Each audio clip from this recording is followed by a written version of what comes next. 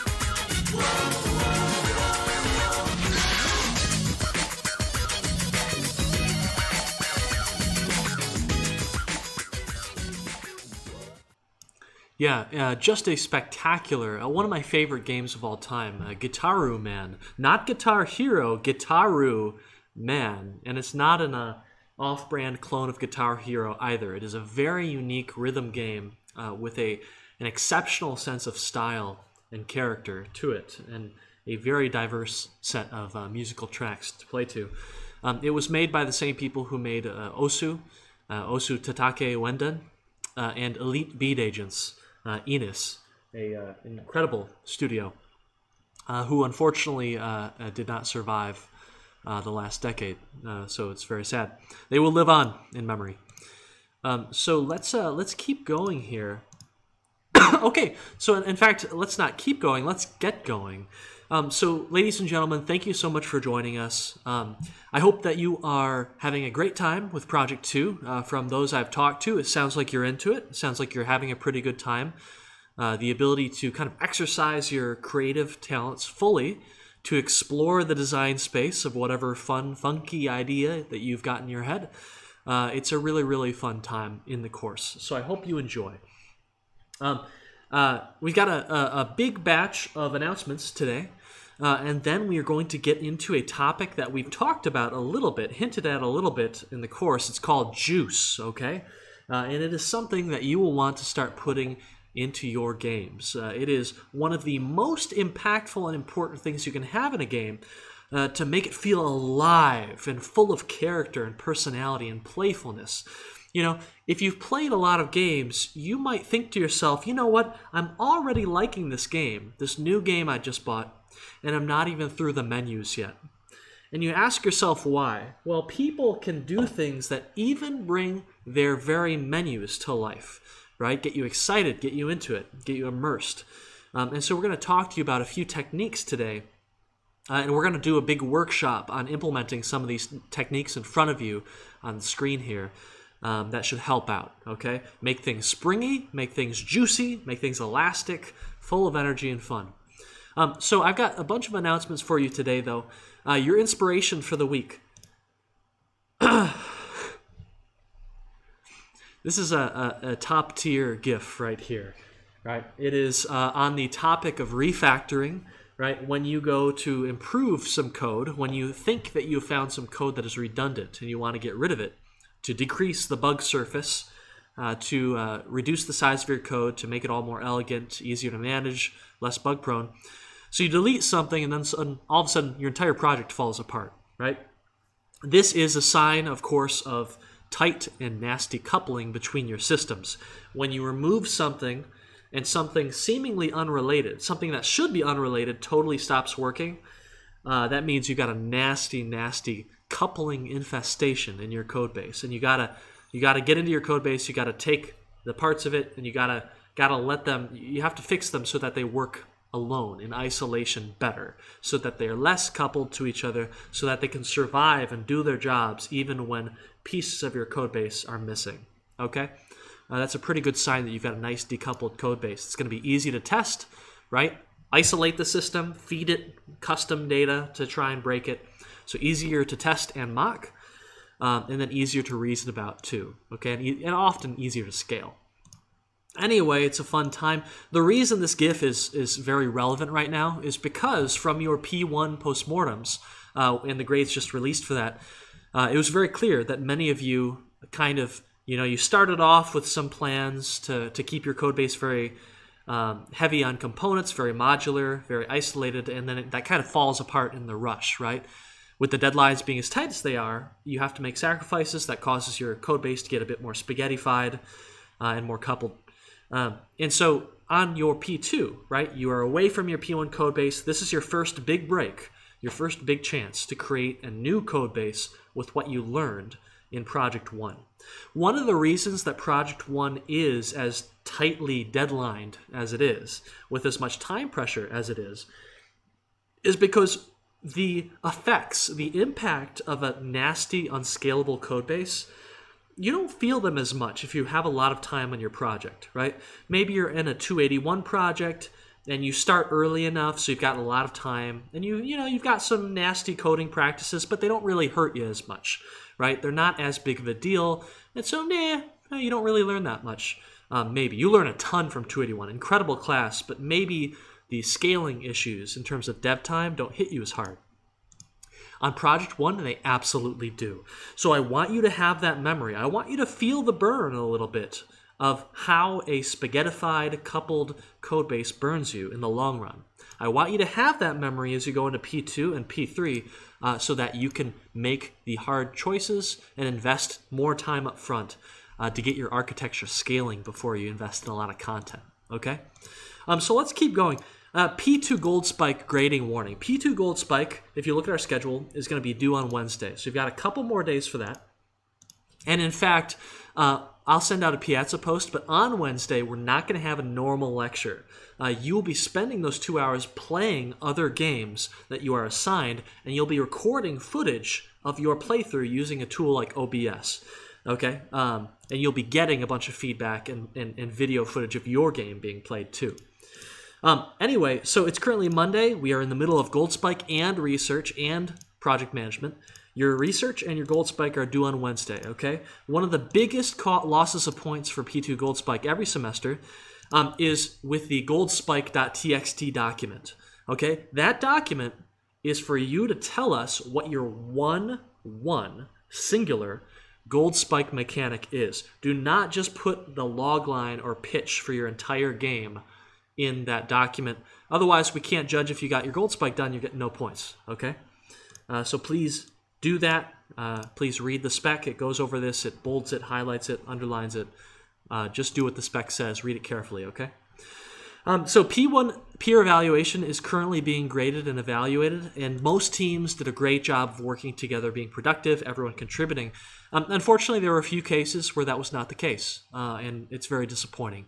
I have to tell you, um, in case this was not obvious, it is not okay to leave your tasks until the final day or two uh, before a deadline. That is not fair to your team. That's not respectful. It's also not practical. How can you merge stuff in? uh, to your team's code base? How can you test appropriately if you're submitting code 30 minutes before the deadline? It's not fair to your teammates, uh, and you will be punished for doing this. Okay, so please be thoughtful if you've done this a few times. Please fix your your habits. Okay. Um, schedules are permitting, right? Okay, so teams tend to work best, and keep this in mind for your project three. Uh, teams tend to work best when the schedules for everyone involved are kind of not necessarily synced, but permitting. Okay? And by that I mean everyone has enough time in their schedule to contribute relatively equally. So if you have a team of three people uh, who, you know, they have they have a bit of time, they don't have a they don't have all that much time to contribute to the game, and one person or two people uh, who have a ton of time to contribute, and they just pour investment into the game. Well, it's it's not your fault, right, for not having enough time in your schedule. Not really. But there's still going to be animosity that builds up, right? The level of contribution is just not going to be the same, probably. And no matter how much you talk about it, and no matter how much all of you understand how much each member can contribute, it's not the same. So you're going to have a little bit of animosity build up eventually, uh, and that's not going to be productive, okay? Um, skills are complementary right? So, one of the best things that you can find when you're looking for teammates are people who cover for your own weaknesses. You got to know what your weaknesses are, right? So, when I'm working on a game at my studio, whether it's an educational game for the government, whether it's our own internal IP, doesn't matter, um, you'll never find me doing the artwork for my games, right? Because I am not very good at that. I can do it a little bit, uh, and it can be okay, but it's just not fast. It's not productive, right? It's not a good use of time. And so my team is filled with artists. I usually have several artists working on my projects and a musician, and then I handle the design and engineering work, right? You want to find team members. Now, we're, we're all engineers in this course. However, we don't necessarily specialize in the same thing, right? If, if, if you did all of the weapons on Project 1, it might be a good idea if you found someone who did all of the enemies, right? Who has a background already in how to do AI in a Unity context. Um, and likewise, when you get onto your project, you might all start with a very general, similar skill set. But specialization is extremely helpful, right? If you have a bug in your AI system, you don't really want the person who did all of your great UI to be solving that bug. They can probably do it, but it's not going to be efficient, okay? You want to make sure the right challenges are routed to the right member of your team, okay? It can be really, really great to have a general and well rounded education. And you've all gone through a fantastic computer science program to ensure that's the case. However, when you get onto a real deal team that wants to be productive and efficient and you want to make impact, specialization is what happens, okay? Um, unless you're at a startup, in which case people specialize in a ton of different things and you wear a bunch of hats. Have I told you the story of the hand guy chat? Have I told you the uh, have I told you the story of the hand guy at Visceral Games, EA Visceral Games. Have I told you that story, chat? I feel like an old man. I'm only 27. I feel like an old man when I go on these tangents like this, but it's a fantastic story. Okay, so when I was at Visceral Game, uh, no, I was not at Visceral. I was a floor underneath them at Maxis, 2014, 2015, working on the Sims franchise. And above us uh, was Visceral Games, who at the time was working on Call of Duty uh, Hardline. And uh, it was an awesome game. Uh, and however, there was one guy, I forget his name, but there was one guy at Visceral Games. The studio had been around for quite a while, and he was known as the hand guy, the guy who only ever worked on hands. Okay? He only ever worked on hands, rigging, rigging hands, texturing hands, right? Um, modeling hands, creating the meshes, and animating hands. If you needed hands, he was your one stop shop. And he was one of the best in the industry at hands. Okay? But he was on like a 300 person team. And so that was his niche, his day, right? You know, from from uh, 11 uh, a.m. in the morning to like, you know, 8 or 9 p.m. at night uh, when they went home was working on hands. All right. And that is the kind of specialization that allows you to create an incredible game that just succeeds in so many different ways. It has great hands, it has, it has great power ups, it has great smoke and particle effects. However, if that doesn't sound like a good time to you, and that does not sound like a good time to me, that's why I'm not still at AAA Studios. Um, uh, the I okay, so you are going to be specialized, right? If you go to a startup, instead, you're on a much smaller team, which means you are doing a lot more stuff, which means you're getting knowledge in many different areas. You're not specializing as much. So there's very low chance you're going to hit the same level of quality you would if you specialized. But the learning experience is much more interesting, and the day to day is much more interesting. Some people feel the opposite. But that's something you should think about, not only if you want to go into the game industry, right? Do you want a large team where you're going to be super specialized, a medium level team where you're doing a few different things, owning a few different systems, or a startup studio where you are doing all the things? Um, but if you go to another job, right? Uh, if you go to Facebook, there's a very good chance you're going to be specializing there. If you go to Google, you're going to specialize there too. Um, and it, but if you go work for a startup in downtown Ann Arbor, a small team, you're probably going to be you know managing some security, doing some back end, doing some UI, front end. It's something that you need to start thinking about when you decide to choose your team, because how you choose not only who's on your team, but your team size is going to control the experience that you have. Okay. Um, so anyway, this is something that you should think about. Sorry for the tangent. Let's keep going. We got a lot to do today. Um, so da, da, da, da, skills are complementary. Also, you want to make sure that your objectives are aligned on any team you're on. Okay. So you uh, when you know when you get onto a team, you know when you get onto your P3 team, you know you might be someone who really wants to go in the game industry, and this needs to be a knockout project. It's going to be the shining gem of your portfolio, right? And maybe you've decided you want to invest a special amount of time, right, way beyond the Call of Duty uh, to into this this project, right? You can do that if you want to. You don't need to, okay, um, uh, to meet our, our standards and get that A, right? Um, but there, you might be on a team with other people who, you know, I just want to pass, right? I want to get that grade and, and get graduated. That's totally fine, totally understandable. However, that's going to create a little bit of tension, right? When you're working a ton of extra hours and you don't see that same level of investment uh, from your teammates, right? And likewise, if you want to invest a reasonable amount of time in the project, but you've got one or two members of your team who want to go crazy, that's going to be frustrating for you, okay? Um, that, by the way, that, that won't get you into any tr- trouble with the um, the imbalanced team investment. That only happens if you're not investing, like you're investing very little time. Um, but uh, you want to make sure objectives are aligned. So here's what I recommend, okay? All of this, this big tangent I've taken you on, all of this is for your Project 3 prep.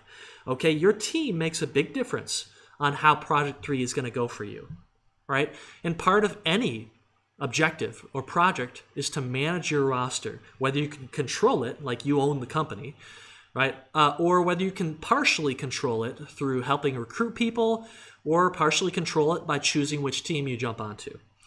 Um, and so you have about 10 days until Project 3. And here's what I recommend, right?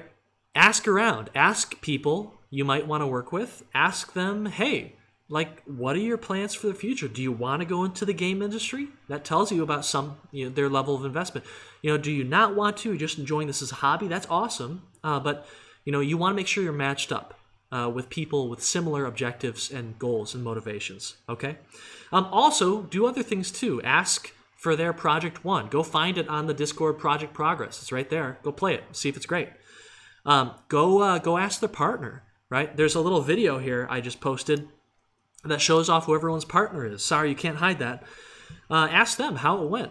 Right. Uh, don't be afraid to do a little bit of research. It's important stuff. Um, and if you're a little bit worried about what you know a little bit of research might reveal, then you need to keep that in mind, okay? And make sure that you're always presenting yourself well, always putting in the effort. Remember from last lecture, you are always interviewing, okay? This isn't high school anymore. What you do now, you might be judged on, okay? Um, so please uh, always put be in that be in that habit of putting in a, a good effort, an honest effort on everything, okay? Um, okay, let's keep going. When you dis- oh, here's something that I noticed in the uh, P1 feedback. Okay, uh, sorry, the P- one um, postmortems. So a lot of tension and a lot of conflict and lost time on your team uh, project your P1, was about designing APIs that confused teammates or didn't work in the way they expect, right?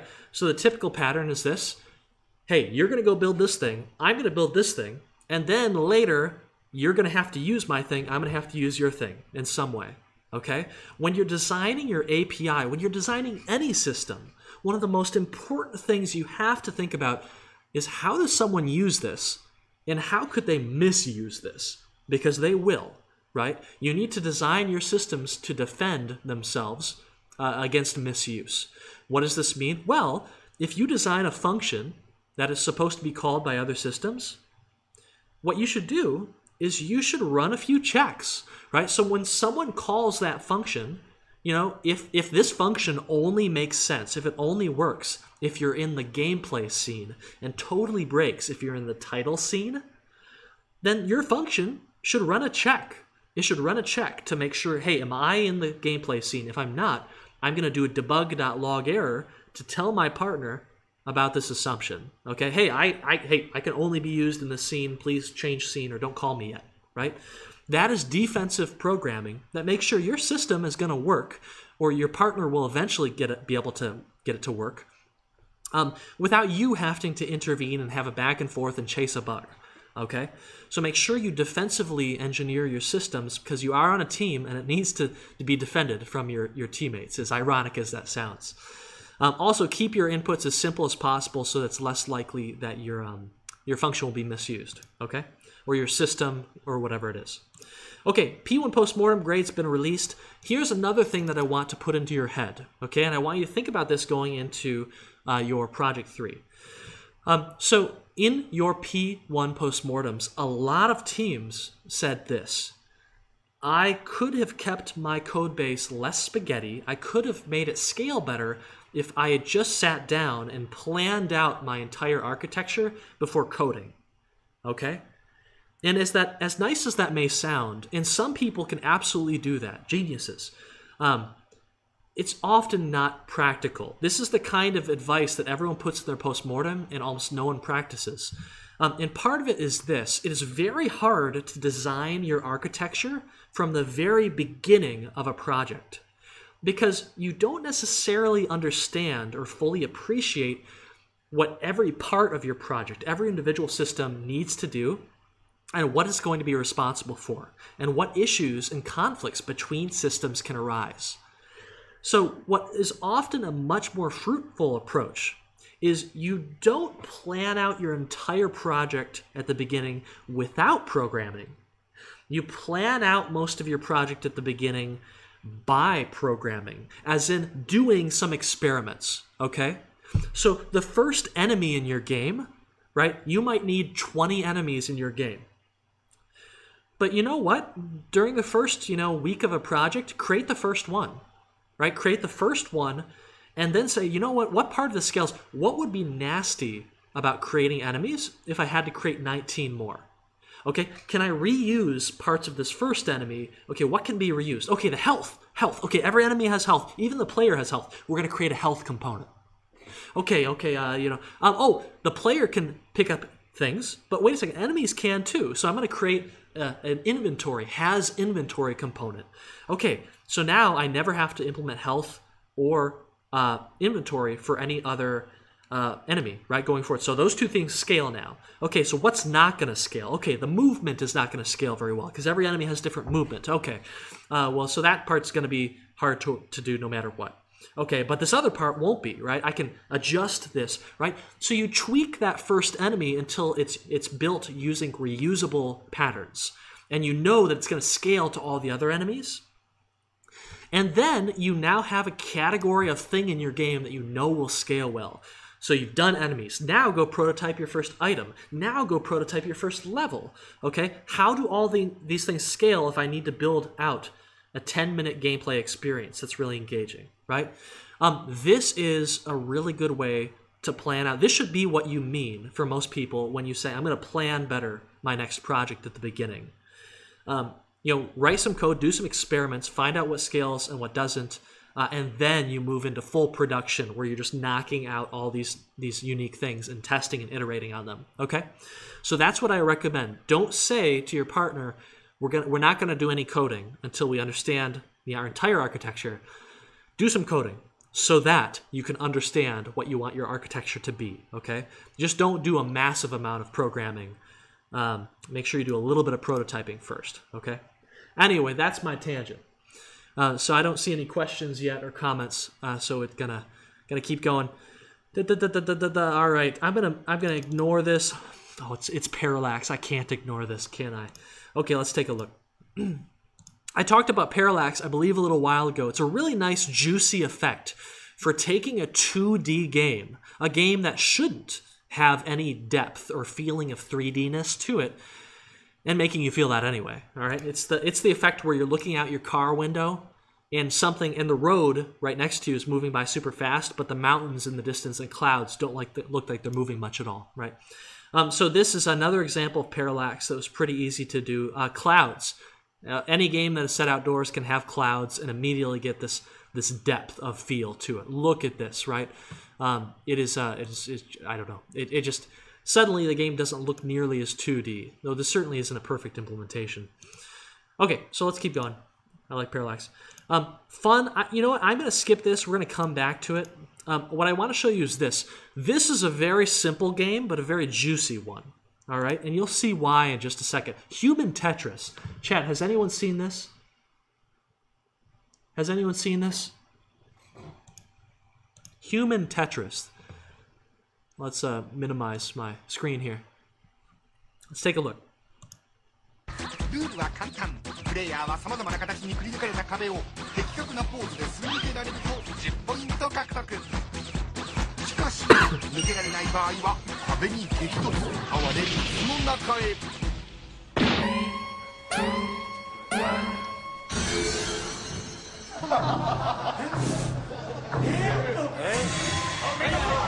さあ太郎が来た。ぞ北郎の壁さあ親父のポジションだ親父のポジションだ親父のポジション親父のポジション残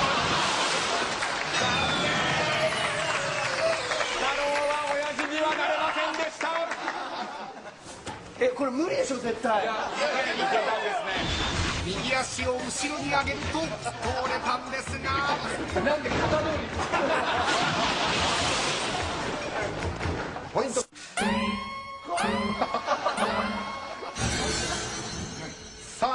気合が気合が入っているよく見て手を使って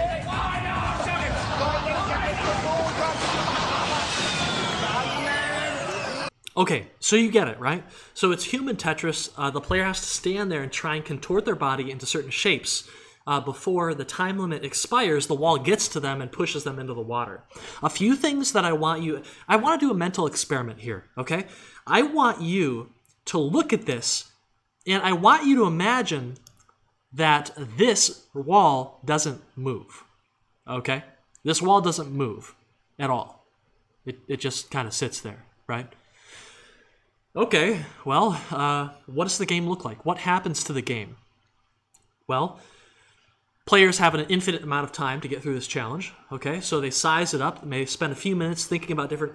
They, they experiment a little bit, and it takes a lot of time. You know, maybe they go get a, some coffee. Maybe they call their friends to talk about it. Maybe they get bored and decide it's not very fun anyway and not worth trying because there's nothing on the other side, right? So the time pressure, part of the magic of this game is that you're given time to size it up, but you're not given a ton of time, right? You need to go with your first or second try, uh, because I think most people could could figure this game out and get past most challenges if they were given unlimited time. This is an example where some form of resource pressure is applied, and thus the decisions are under pressure, and we get to watch players make the wrong one, right? And try and take a bad decision and make it work anyway uh, uh, which is often very comedic, very fun to watch, and very fun for the player as well. So that element of time pressure is really important. Um, and consider another thing. Watch this right here, right? Okay, I want you to imagine right now, do a mental transformation, take this game, and I want you to imagine that instead of being pushed into the water by this wall, the wall touches the player, detects that it has been impeded, and the game just kind of stops. The wall freezes, and then it just goes. Mer, that's it. You got to walk away now. Go back to the stands, right? Next competitor up. Right? I mean, that would kind of not be very exciting, wouldn't it? Ask yourself this remove the falling into the water, being pushed into the humiliating water from this game, and what are you left with? Well, it might still be kind of fun, but it's not nearly as dramatic, right? It's not nearly as embarrassing, you know, in kind of a playful way uh, for the player. And so ask yourself this, right? The game just feels a lot less juicy when you get rid of the kind of the animation of what happens when you fail, right? Um, it's so visceral. Like you're pushed in the water. You clearly did something wrong. Um, and so this is a good example of juice, right? The game loses a lot um, if if the person if, you know if it just ends in a kind of a boring way. Um, also, consider this as well. It's a really really nice technique. Uh, kind of the mental transformation. If you want to evaluate a, a design element in a game, just take the game, think about it, and then remove that element and see what happens. Simulate it in your head. What happens, and does that make the game more interesting? Does it make the game better? Uh, does it make the game faster and more efficient? Uh, it certainly would in this case. Just end the game as soon as it touches them, next competitor up, right? From a business perspective, it'd probably be a lot, maybe a bit better uh, to do that. Not from an experience, though, and certainly not from a juiciness and drama perspective. Okay, let's keep going. Uh, community resources. I'm not sure why these are here. If you're not part of the Michigan statewide game dev server or the Wolverine Soft Discord server, I encourage you to join. Uh, a lot of great uh, uh people doing great stuff there. A lot of help there too. Uh, a quick note: uh, in your P1 postmortems, a lot of students got a little bit. Well, not a lot, but a, a couple teams got burned by the um, the fact that sometimes editor, sometimes game builds work slightly differently than editor builds. For instance, your script execution order, the order in which the start function runs among all the different components you've made, um, if you don't set that, if you don't force that to be specific in the project settings, edit, edit project settings script execution order window, um, that will be randomized. Okay, so that can cause issues that are not present in your editor, uh, but are present in your build. So please be sure to build your game every couple days so you can test these things and find them before the last 24 hour scramble, okay? Okay, awesome. So, what I want to do is I want to talk to you about what, and actually, I want to show you in many different ways the concept of juice, okay? You're probably already familiar with this concept, um, but we have a fantastic uh, video uh, uh, conference video, kind of going through what Juice can do to a game, how transformative it is, right? How it can take the same game design and turn it into something that feels incredible, that is playful, exciting, exhilarating. Um, and, uh, and so let's get into it, okay? And then I want to implement some of these techniques you're going to see in this video, okay? We're going to take a breakout, a very vanilla, boring breakout game. We're going to juicify it. We're going to add fun to it, make it super exciting. Okay? Uh, so go ahead and, and, we'll watch this video together. Um, Ishwar, would you post this video into the, twi- uh, the Twitch chat in case viewers uh, think it's a little bit laggy on the Twitch stream? They can watch it themselves. Can you do that, Ish? Okay, we'll start the video.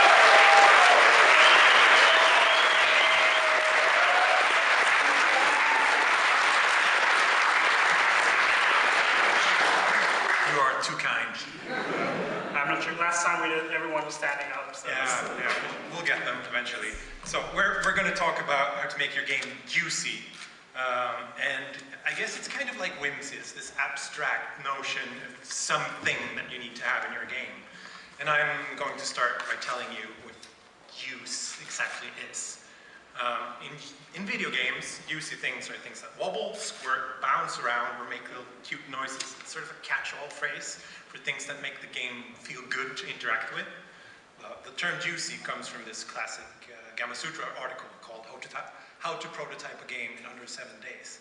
Uh, and they say this, a juicy game feels alive and responds to everything you do. Tons of cascading action and response for minimal user input. And uses typically visual or auditory, but it doesn't really need to be. Emily Shorts mentions on her blog that interactive fiction, which is a text-based game, uh, they can't really do wiggles and squirts much, but they have their own kind of juice, the fun and uh, sort of unexpected responses you get when you try something in the game that you're not supposed to do. Um, and that's pretty much what juice is about. It's about maximum output for minimum input. So why why juiciness? I, I recently had the pleasure of giving feedback on some student games, and what I noticed was that almost all of them lacked juiciness, and that made me realize how important juiciness actually is to a game. Uh, because in game design, game design is quite hard, and it's impossible to give broad statements that are true for everything. But adding juiciness to your game makes your game better 100% of the time, guaranteed.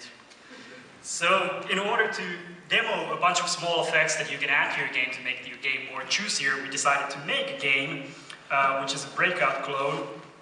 And we're going to show you a bunch of very simple juicy effects you can add to your game to make it better.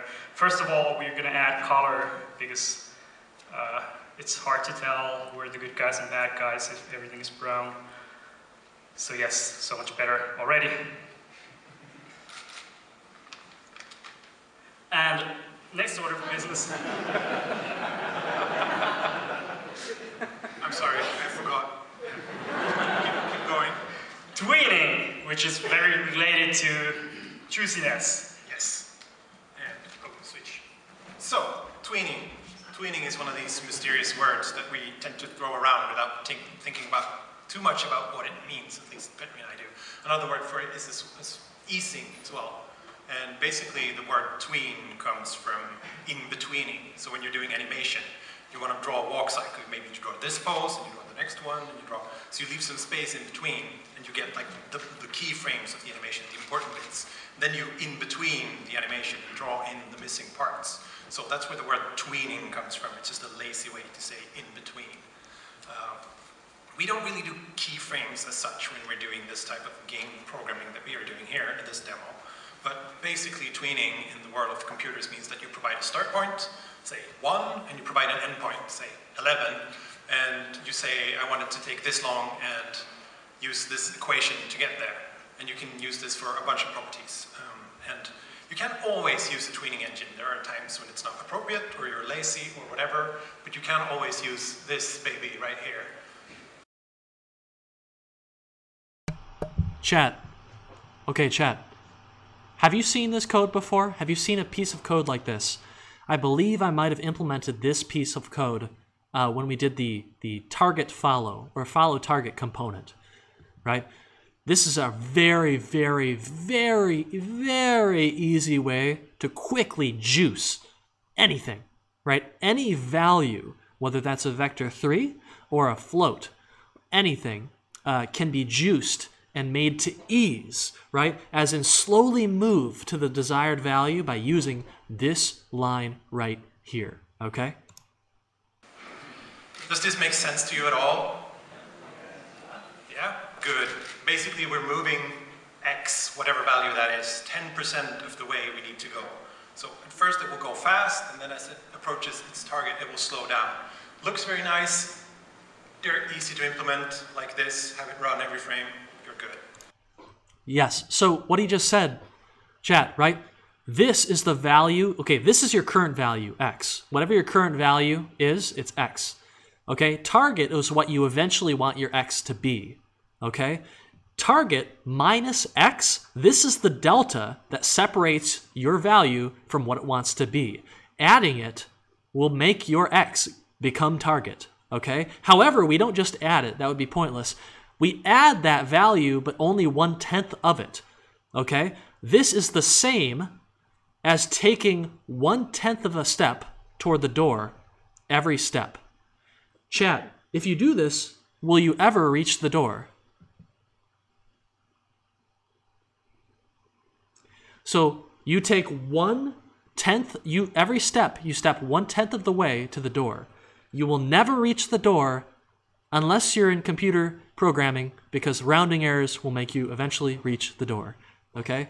Oh, this is called uh, the paradox. Oh, this is oh, I can't remember. This is a Greek paradox. I can't remember which one though. Maybe someone in chat can add. Anyway, let's keep going. But we're going to do some, some proper tweening in this game. And a good way, a good place to do tweening is when these blocks appear on the screen. Yes, this is Zeno's paradox. Zeno's paradox. Look it up on Wikipedia. It's pretty awesome. Want to make it look juicy and nice. So we're going to start by tweening their position. As my assistant here will show you. So as he resets the level, they sort of fall in instead. And now we can use these mystical equations here. So instead of using the linear one, which is just falling in, we can use this sort of slow down type equation.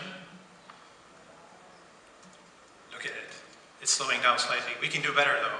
We can go slightly past our target using a different equation. Look at that. Very luxurious. And there's also crazy equations. You're laughing. This is serious, serious stuff. And the bouncing equation. This is crazy one. Look at it.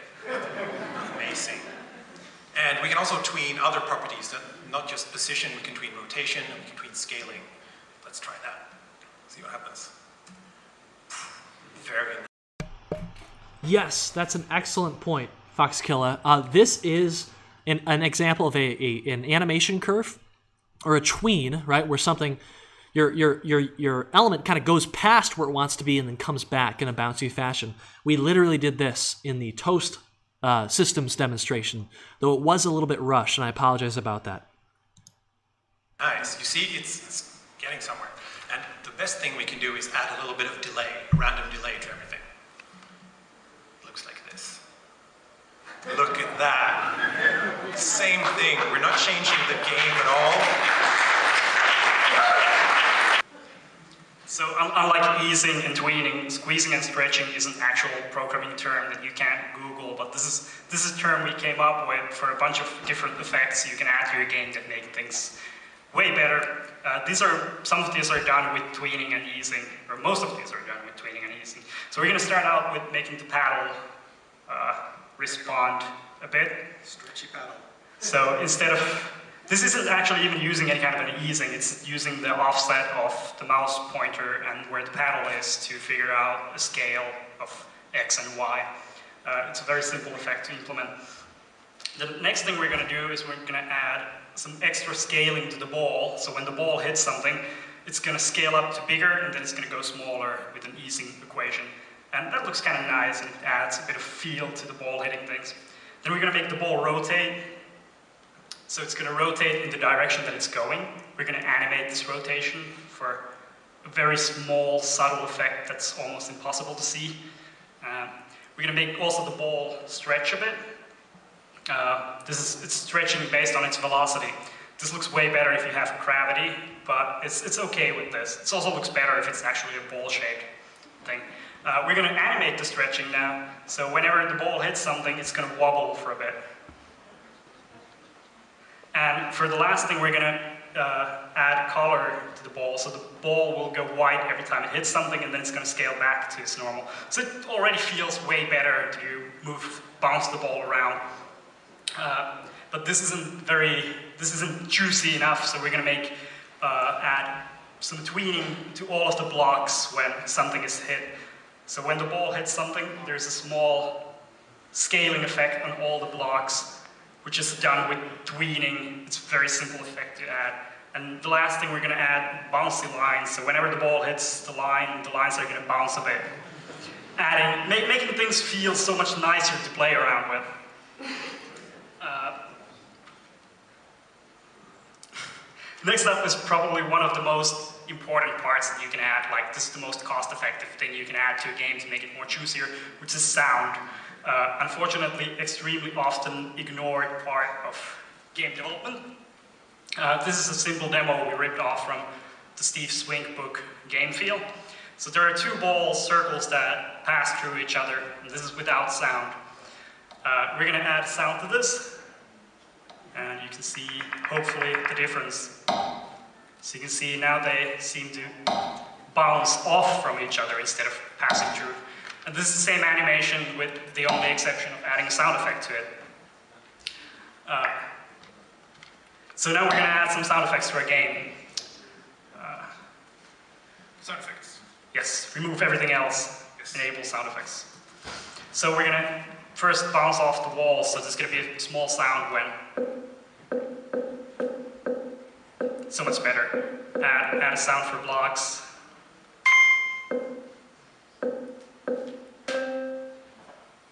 Sound effects, thanks to Nicholas. Is he here? Were you here? Yeah. Yay! Oh, come on, give me more than one. Oh. You get the point. Uh, add the paddle effect. and, music by Nicholas. This, actually, even though the game doesn't have anything else except sound effects, now it feels almost like a real game instead of a crappy demo. Uh, next up, Martin's going to talk about one of his favorite like particles.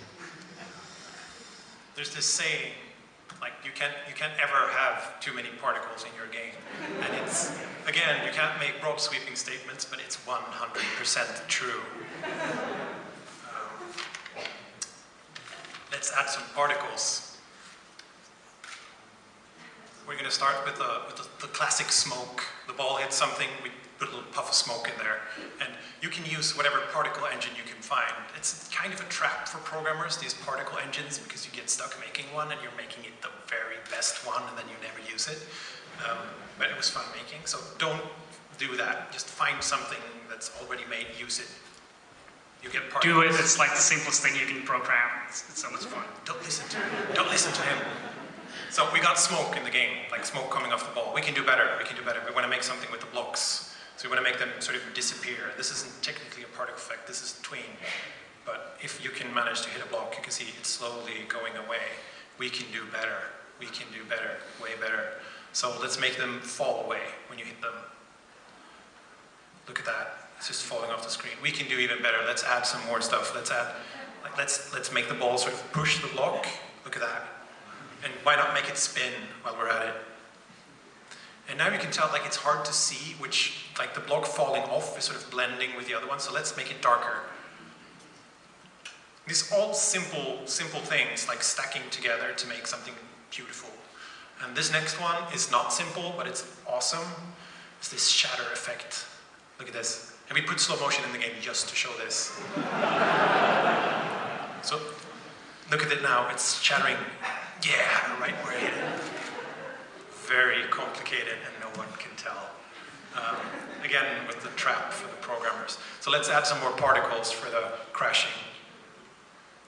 You can look at that. Just, it's just beautiful. Let's go for the paddle particles as well. See if you can hit the paddle. Yay! confetti always works. And there's also this ball trail that we put in the game, which is nice. That we just keep track of where the ball has been, and we draw a line onto this position, and it looks very fancy.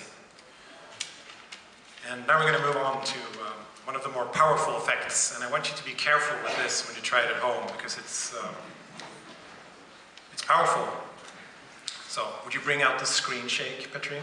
Yes. And this really, really, for effort, this is one of the best ones. So when the ball hits something, we shake everything a little bit. And the ball went from being like a stupid tennis ball to a motherfucking comet or something. and if you crank it up a little bit more, Petri, we can get them, like now it's in freight train mode. Like it might very well just break the screen edge and just keep going. Very, very powerful effect. And with great power comes great personality, Petri. So, so this last one is a classic Kyle Gabler trick of making your game juicier. It's not exactly a effect, but it's, it's a thing. Uh, you add eyes to anything you have. Okay? So we're adding some small eyes to the paddle, which is like so little programming effort and art effort. Like the animation is just disabling the eyes for a while, and it looks like it's blinking. Uh, we can animate the eyes a little bit more, so we're going to make it look towards the ball as it's going. Uh, it's, a, it's a nice little thing. Um, we, we, add, we also can add a smile to it. So it's got a small mouth there. And it smiles when it hits something. That's just scaling the Y value of it. Uh, if you can get the ball to go further away, you can see it frowns in horror. And, and, and for the effort of this, like how much personality it adds, it's insane. Uh, you can also make the eyes a bit bigger. It, it adds so much better with bigger eyes.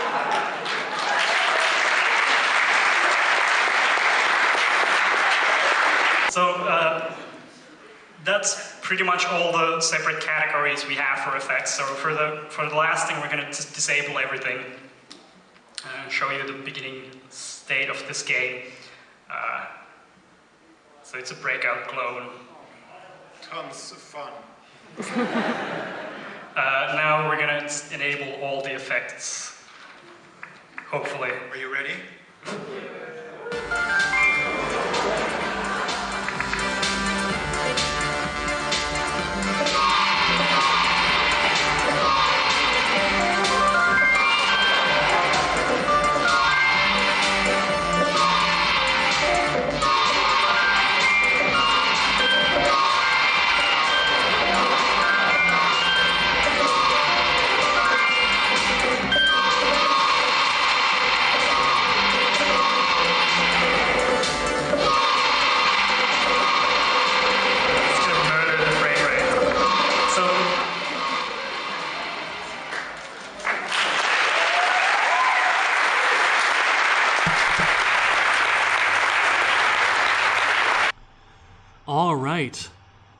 Okay, team, right? You saw it.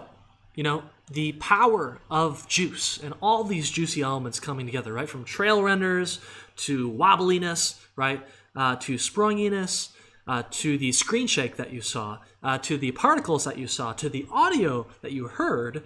All of this comes together to transform what really is a very simple and played out game design uh, into something that is suddenly injected with life and energy, and you want to play it just to kind of see what other effects and magic will happen.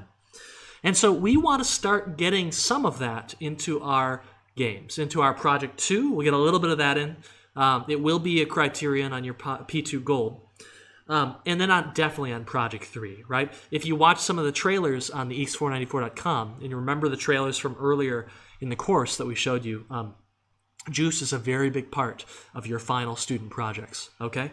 Uh, and a, a very good thing to show off to recruiters to show off to friends family as well because they really come through even in a, a trailer.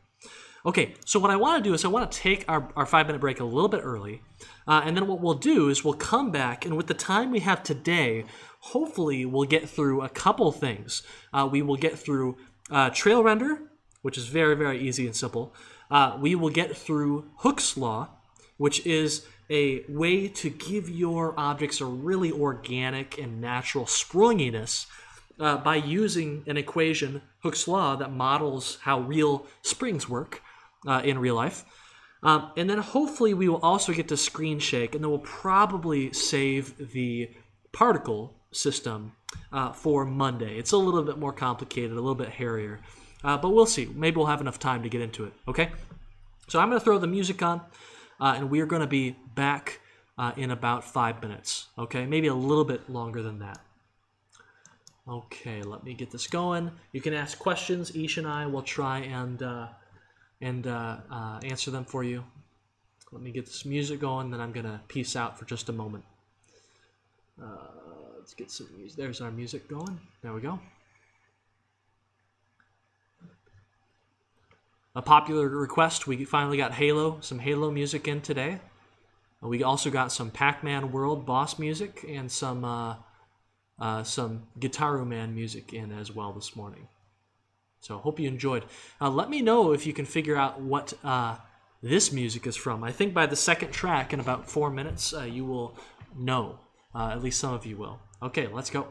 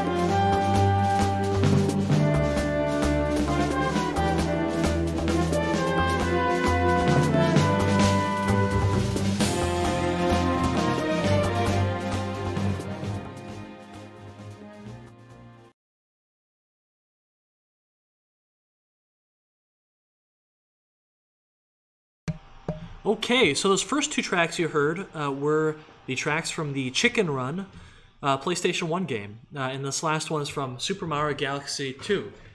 Oh, in this, Ellie, Ellie, come here, come here. Oh, and, and this little baby uh, snuck into my office uh, when, uh, Ellie, say hi.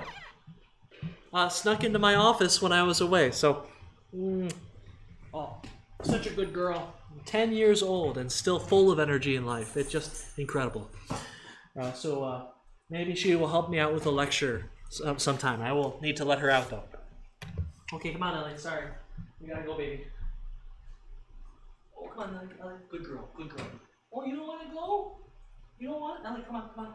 Ellie. Okay, good girl. Good girl. It's not your fault. It's not your fault, baby. All right, we'll go for a walk later. okay.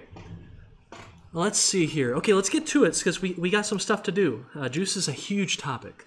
Um, so I want to show you a few more instances, not from that video, but from other ones. Who's watched South Park? Does anyone like South Park? Um, it is a show that is extremely minimalist uh, and extremely uh, efficient to produce. Okay, they have to make each episode in six days, which is extremely hard, and yet it still needs to be juicy. It still needs to be good and fun to look at. Uh, and so they do a really cool thing with this, with their their art style, uh, with how characters move around.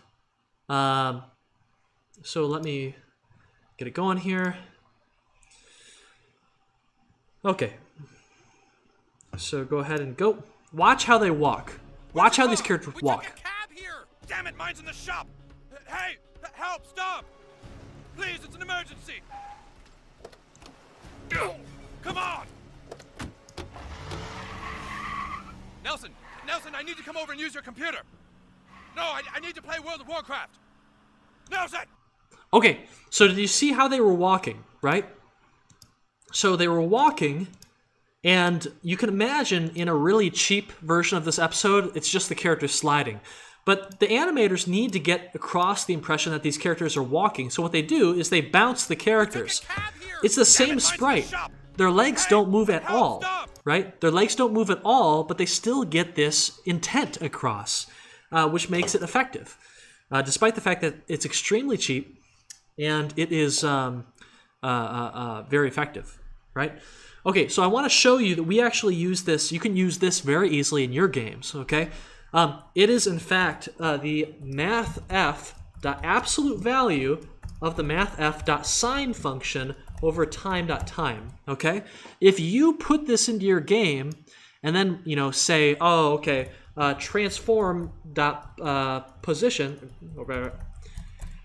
uh, equals vector 3 dot up times this. If you put code like this into your game, what'll happen is you'll see that your object goes boink, boink, boink, boink, boink, boink, boink, and you can make it faster, and you can make the arc larger by multiplying inside of this, uh, multiplying time to uh, time to time, or multiplying the final vector, right?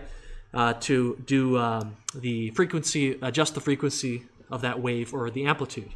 Um, this is extremely effective, and you can tie it to anything. It doesn't need to just be vertical movement up and down. It can also be rotation as well, uh, as you'll see in this little example. Um, a little while ago, uh, we started working on kind of an RTS system uh, for our Arbor Interactive games. And so we created this, right? Uh, this is just a single sprite character. It's an art student. Uh, and when you click someplace, she will start to move. The game, uh, she has a component that will grab the sprite render and her transform and will ask, Have I moved this frame? How fast have I moved this frame? And if your character is moving that frame, what it will do is it will make sure it's looking in the right direction using the Paper Mario fade, right? That's just by just taking the X scale and, and uh, lerping it from negative 1 to 1 or 1 to negative 1 and it will take your character and just put it on that absolute value of the sine wave to make it look like it's walking, right? The shadow does the rest for making you feel like this character is in a place. One thing that's really cool is that this is ultra cheap. And once you've implemented it once, as long as you implemented it in kind of a flexible way, you can use it on enemies of any size and shape. Uh, so here's an example of that. Let me uh, get this video down here. Hold on. hold on. Hold on. There we go. So uh, here we go. We've got a little character, but we also have our uh, big squirrel boss over here. You don't want to run in, don't want, don't want to, don't want to fight him. That's a one-hit KO right there, right? You can even see some items down there that are bouncing around, trying to get your attention to go collect them. So anyway, a very, very reusable thing, very easy to implement uh, once you know about it. Um, so consider using it if you have moving characters and want a really cheap animation. If you want a cheap animation that is effective and does not use the animator at all, consider it. Okay. Um, juiciness by way of timing camera movements to music. Okay. If you have audio in your game, and you should, one of the most effective ways to give your game a polished, professional, well paced, and well timed, put together feel is to make things happen to some sort of beat or moment in the music. Okay? I want you to watch this clip. Uh, however, I'm going to do something to it. I'm going to get rid of the audio. No, no, no, no, no. No, no, no. Kill it, kill it. Good. All right. Watch this clip.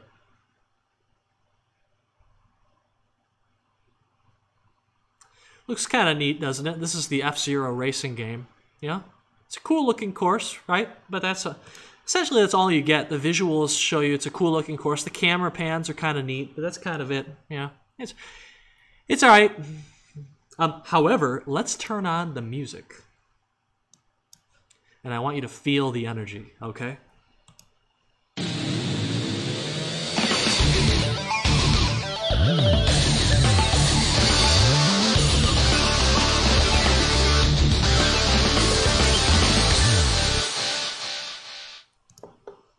Chat.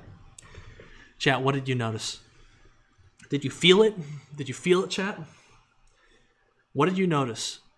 The game did something very particular, timed to the beat of that opening kind of intro tune.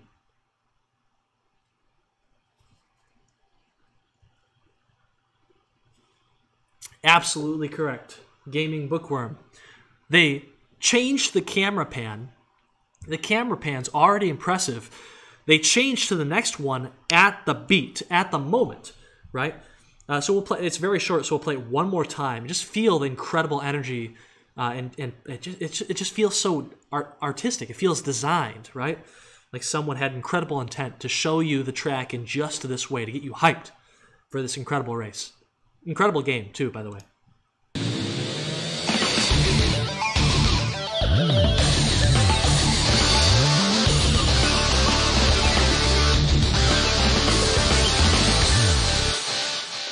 And always, as the intro tune kind of fades out, ba, ba, ba, ba, ba, ba, as it fades out, it always shows you the, the starting line where then when you transition to gameplay, where you are at, right? So it's, uh, it's just so incredibly put together. Okay, uh, so I think that's just about all I want to show you. What I want to do is I want to get into a few topics. How do you implement stuff like that? Okay, all right, let's go set up a test scene here. So I'm going to go my, uh, and, and, by the way, I'm sorry if this goes a little bit slowly. Uh, I'm a little bit sick right now. And so it's a, it's a little bit, a little bit hard to think about what I want to do ahead of time. But anyway, let's go ahead and get some stuff going here. We got our little ball here. And there we go. Uh, and let's go ahead and uh, this doesn't look so, that skybox is nasty. So we're going to get rid of that skybox. Bye-bye. We're going to have a nice, classy, a dark, uh, we're going to go ahead and create a material here. We're going to create a folder for our materials. We're going to go ahead and create a material. What color are we thinking about? Well, it needs to be something that isn't too dark. So let's go ahead and, um, otherwise it's going to disappear. Let's go ahead and get a nice, like, let's get a light, nice light blue going on. And this is going to be an unlit uh, light blue, so it just it just uh, shines. How about we do something like that? Um, and let's get um, can we get a color going? Let's go. Uh, not transparent. Let's just go. Let's just go color for now. Gonna get a light blue going. How about that? That looks. Uh, oh, that. Oh, that looks pretty nice. It's not just pure white. Um, so what we'll do is we're gonna go ahead. We'll drag this material on. See how this looks. Does it look good? Ooh, I kind of like it. I don't know though. I don't know though. Shadow might be important uh, for this this time. So let's bring it close to the camera. Let's bring our camera down to zero. See how that looks. That's not bad. Um, what I would like to do though is I would like to have us uh, have a little bit of shadow going on. So let's uh let's go to the let's go to the well what do we want? Where's the standard? Let's go to opaque. Yeah, it doesn't look all that great. Can we add emissiveness so that it uh, Emission. I, I, don't, I don't think this is going to show up unless we have bloom. Yeah. Oh, ooh, ooh. Oh, that doesn't look great. Yeah, I don't like it. Yeah, it doesn't look great. Can we turn, this? Can we turn this down real time? Can we? No, let's get rid of that. What do we want to do? Hey, well, let's bring in a let's bring in a light. Let's bring in another light. We're gonna bring in another light, and we're gonna actually change its orientation so this looks a little bit better. Go ahead and uh, doo-doo, yep, there you go. All right, that looks a little bit better. It's a little bit ominous, right? This is the dark and edgy sequel to Rollerball. We play the game, it looks okay. Whatever, I'm not super happy. Maybe we'll update it later. Um, let's go ahead and uh, add one more light because I don't like that dark corner on the side. It's way too edgy. Let's go over here. Let's um, maybe go like this. Maybe like this. There we go. Okay. That looks kind of funky too. It looks like we're looking at a Dragon Ball or something, except it's blue. Okay, uh, so what I want to do is I want this ball to fall, and when it hits the ground, I want it to feel like a nice impact, right? Some some punch to the collision between the ball and the ground. Okay, um, but first, you know, I want this to be a bouncy, cartoony, juicy ball. So when it hits the ground, I want it to morph and I want it to bounce and wiggle a little bit. Okay. So all this is kind of complicated. Let's break it down. I just want the ball to wiggle. In fact, I want to wiggle when I press the space bar. That's a pretty good start, yeah? Um, so what I want to do is I'm going to do this. I'm going to call this, I'm going to create a new component. I'm going to call this has hooks, uh, has hooks effect. Okay? Is that, is that how you spell Hooke's name? I don't want to mess this up. Bingo, that is. That is in fact how you spell his name. So it has hooks effect. Uh, we're going to go ahead and create that component. We're going to wait for the, the um, Visual Studio to start up. Yeah, spheres are pretty good at telling you where your sources are, your light sources. Later on, we'll teach you about post-processing, which is the idea that we take the final rendered shot in our game and we do something with it. We add film grain, we take the lighting and we blur it uh, to create, um, or bleed it uh, to create bloom effect. Uh, Oblivion and the Elder Scrolls game make crazy use of the bloom effect. It makes everything look fantastical, though not necessarily fantastic um, if you overuse it. Um, it. It is it is sometimes said it's like kind of putting Vaseline over your your game camera. Anyway, okay, we got this going on. Okay, we got Hooke's law, and void do hook. Uh, let's call this. Um, uh, let's call this perturb. We're gonna do that later. Okay, so Hooke's law. Does anyone know what Hooke's law is? It is for modeling springs. Okay, and never be afraid. Right when you want to learn about something, just Google it. You've got Wikipedia. Wikipedia is kind of much better as a professional reference than for an educational reference. Uh, these articles tend to be so dense uh, they can send your mind spinning right away. Fortunately for us, this Hooke's Law article has the most important equation uh, for us right here at the beginning. Fs, so the force of the spring, equals kx. Uh, in physics, I was always very confused because I, I would see these big equations and I just couldn't remember what all the, the letters meant. Okay, in this case, right, you've got force, F, you've got K, which is literally just a number, it's just a modifier. You tweak it, it is a stiffness constant that kind of gives your spring a stiffness to it. So is it going to come back, or is it going to, right?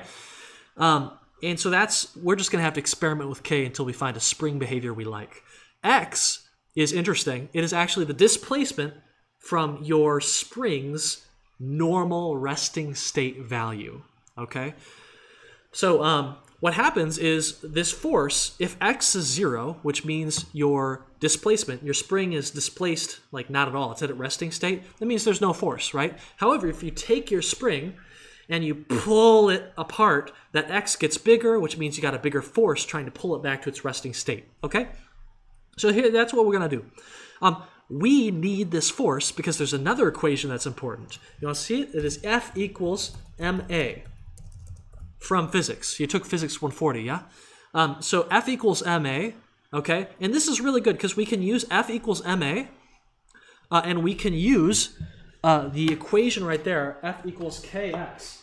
I'll do it on my notepad right here, right? You put those two equations together, f equals kx, and you've got f equals ma, which means you have ma equals kx, which means we can say uh, acceleration uh, is equal to kx divided by m. Okay, so there you go. There's your uh, there's your physics 140 lecture for the day. Um, and that's a really simple equation. One of the cool things here, however, is that everything in our, our experiment today is going to have a mass of 1, right? You divide anything by 1, it doesn't mean much, right? So we're going to get rid of that m, and we simply have a equals kx. There you go. Um, so we're going to have k, uh, a equals kx. So let's go ahead and punch that into the, uh, the thing here, right? Let's get this going. So we got uh, float uh, k. That's going to be equal to, I don't really know. So let's make it a public variable. Um, let's zoom in so you can see here. Uh, public k equals, and I'm just going to guess here, if I recall from previous lectures, it's going to be really good at like 3, 0.35 or something. Um, by the way, I got a new lamp here so you can see, see us a little bit better. Um, so we got k uh, equals uh, 0.35 or whatever it's going to be. Uh, we then have x. Okay, what is the difference uh, between you know what we want and where we are? Um, if we think about our scale, because that's the thing we want to bounce, right? Moing, moing, moing. Um, we actually want this displacement to be uh, vector 3, probably, right? Yeah, yeah, I think we do. So let's go ahead and do this. Um, uh, do we want it? You know what? Let's just keep it at x, right? Because we can multiply by vectors to transform it. All the dimensions and axes are going to be the same. So let's do this. Float x, our displacement is going to be uh, our where we want to be, right? So vector 3, uh, so it's going to be it's going to be 1. We want our x value to be 1, our scale to be 1, uh, minus what our current scale is of this object. So we're going to go transform.localscale scale uh, dot x, okay? So there we go, we got our x. Um, we also have um, our acceleration. What does our acceleration need to be? So float a is going to be equal to k uh, times x. Uh, I think there might be a negative sign in there. We'll find out pretty quickly if it's incorrect at the end. Um, and then, okay, we've got our acceleration, right? Well, what do we need to do with it? Acceleration should is the derivative of a velocity, and velocity is how much we change our scale every frame. Uh, so let's do this. Uh, vector, uh, uh, let's do float. Float velocity is equal to 0, 0.0, okay? Now, acceleration is the change in uh, velocity, so we're going to use this to change our velocity here. There you go. We got that going on. Um, we don't want our spring to go on forever, right? So what we're going to do is we're going to actually apply a, uh, a bit of friction to it. We'll call this a friction uh, factor or a dampening factor. I'm just going to just gonna, yeah, I'm just gonna call this the friction factor. Let's go for it. Uh, friction. Oh. And let's call this like 0.98 f. Okay, so every single frame we're gonna lose two percent of our velocity, no matter what happens. Uh, in other words, we're gonna we're gonna do this times equals this. So multiply it by 0.98, and you've got your um, you got your your loss here. Okay. Anyway, uh, so we've got x being calculated. That's affecting what a is. A is affecting what velocity is. Velocity doesn't mean much if it's not actually changing our scale. We add a tie velocity in a scale now. Uh, so let's go ahead and do that. Transform that local scale. this is a vector 3, so we need to add or subtract a vector 3. Uh, velocity is currently a float, so that's fine though. We'll turn it into a vector 3 by just doing this. Vector 3 dot 1 And, uh, you know, there you go. Uh, hopefully this uh, gets us going. But remember, you always iterate. You write a little bit of code and then you see what happens. Okay, so we're going to do that right now. I think I might need a negative here in this equation, actually. Uh, let's let's find out what happens. By the way, nothing's going to happen because our our object is is currently it's going to start with the scale that it wants. So x is going to be zero, which means a will be zero, which means velocity will stay zero, which means we don't change our scale. Uh, so perturb, what this is going to do is this is going to take our object and it's going to just take our transform and it's going to say, hey, local scale is equal to 0 0.5. Um, and let's go ahead and uh, make it tiny, multiply it by a vector. Is there some shenanigans, chat? Is some, some shenanigans going on in chat? All right, well, that's okay. We've got the uh, Ishwar and, and uh, Amber are on the guard. We'll be fine. Um, okay, so every frame we want to check into our little cheat if input dot get key down key code dot space another bot. That's a shame. Um, and uh, we'll click perturb. Okay, and hopefully that'll change our transform. Now here's the thing. You remember in physics in in your calculus homework where uh, you know you either got the right answer or it was the negative of that answer. So that was the first thing you checked on your online homework. That's what we're gonna do. Okay. So let's press spacebar. Oh, all right. Hey, first try, huh? That doesn't happen often. Interesting. Um, so let's uh, let's go ahead. And what I want to do is this doesn't look all that great. Uh, so I'd like to do is I'd like to make this less stiff. Let's try uh, let's try something a little bit lower. Ooh, yeah, that's, that's kind of interesting. Let's try something really low. See what see what happens. Ooh, look at that. That's a soft bounce right there. Um, uh, uh, let's reduce this a little bit so it'll last a little bit less long. Let's make it a little bit more stiff. Um, and we're just going to iterate like this. This is so much fun. Oh my gosh. Let's do that. Okay, we got this. Boing. That is very nice. Um, so we're going to save these values because I really like that effect. And we're going to quit the game. We lose our values, but because I saved them, I can just copy paste them back in. I'm also going to do another thing. I don't want us to shrink down that much because it's a little bit too powerful. Our bounce is too big. Um, so we're going to just go by half instead and see how that looks instead.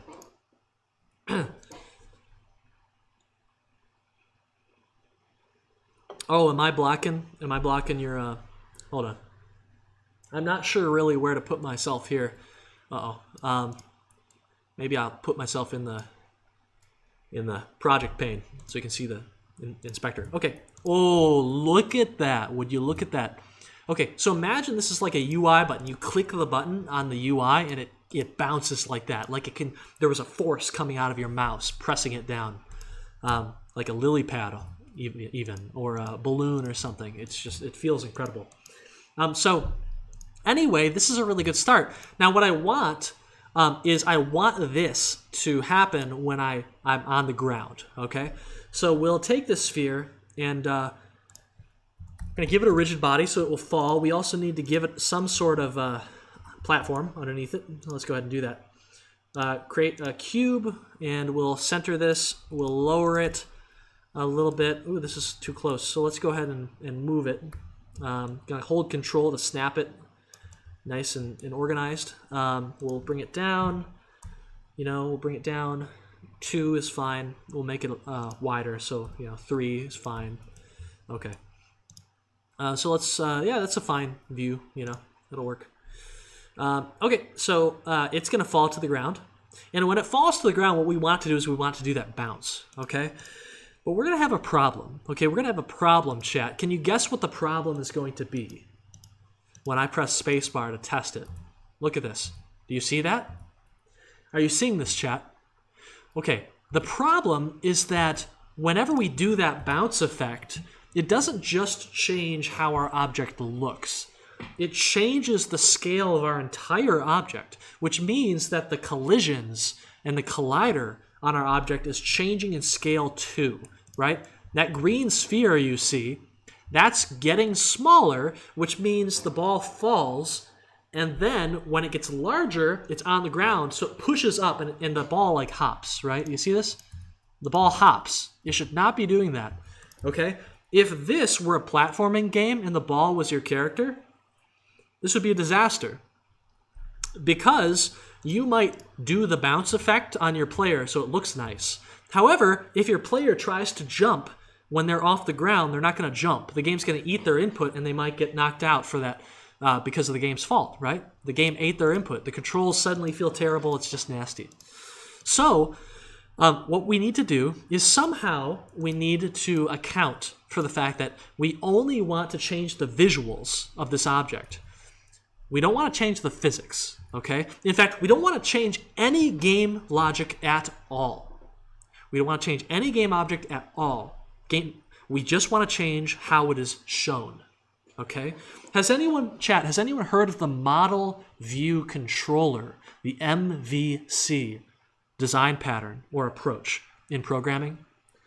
Have any of you heard of this? It's very popular in web frameworks. Um, it's popular in other contexts too. Okay? It's the idea that you have a, a model, so you have a piece of data, right? A bunch of data. You have a view of that data. That's only job is to show the data off okay? It doesn't affect the data it doesn't alter the data. It just shows it in some way in some weird ways sometimes in some other you know very close to the data ways um, and then a controller that can alter the data. So our objective here is we want to have the model the game object right? The game logic how the player actually is and then we want to have the view of the player. Okay, this is what the player sees. This is the, the view of the avatar, how we render, how we show the player. But it doesn't have anything to do with the game's logic. It doesn't have collisions, it doesn't affect how the game runs under the hood. Um, it just allows us a lot of freedom to change how the game looks and how an object looks. Um, so here's what we're going to do we're going to take the sphere, we're going to remove its rigid body, because that you know that's affects the game logic and how the game proceeds. It, affects the mechanics. We're going to remove the sphere. Actually, uh, we'll make a copy of it first, okay, so we don't lose a bunch of work. You know, what? let's make a copy. We're going to rename these things. Okay, this uh, this object right here is going to be our actual game object. So we're going to call this the uh, we're going to call this the sphere. Oh, oh, going to call this the sphere, and then we're going to call this other one the sphere view. Okay. And um, what we'll do is, you see, we got two different things here, right? But the sphere is going to be unique, okay? It's going to keep all the gameplay mechanic related stuff. It's going to keep the collisions, so it's going to keep the collider component. It's going to keep the rigid body, but you know what? The Hooke's law, that bouncy effect, doesn't affect gameplay. We're going to get rid of it. And by the way, the mesh render doesn't affect gameplay. We're going to get rid of it. Okay? So now we have an invisible object that represents the true state of the sphere. And then we have this sphere view, which needs the mesh render because its whole goal, its whole purpose is to show the underlying data. Um, and we're going to get rid of the sphere collider because that affects the gameplay and the view is not allowed to affect gameplay. We're going to get rid of the rigid body that affects gameplay. We're going to keep all the visual related components. So we got our sphere, which represents the true gameplay. We got our sphere view, which just is our way of showing the gameplay to the player. We're going to take this uh, sphere view and we're going to give it a follow target component, which you've probably created a few times. We've certainly made it a few times in this course.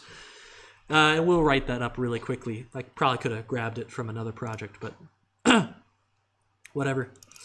Gonna do follow target. Uh, let's do this. Uh, public uh, transform target. We're gonna have a public float ease factor, uh, and this is gonna be 0.2. So it will slowly kind of it will lerp every every frame. It will go 20% of the way to where it wants to be, to where its target is. Uh, and then every single frame, uh, probably, uh, we want, yeah, let's do late update uh, instead of update. That means it'll run this update last. It- the last thing it does, it uh, in the last script that runs in the game will be this follow target script. Um, and so what we'll do is we'll say, you know what? Let's go transform.position. Uh, we're gonna go. We're gonna use that equation from the uh, the the lecture. Though you know what? Actually, this is gonna be more intuitive though. Let's do this.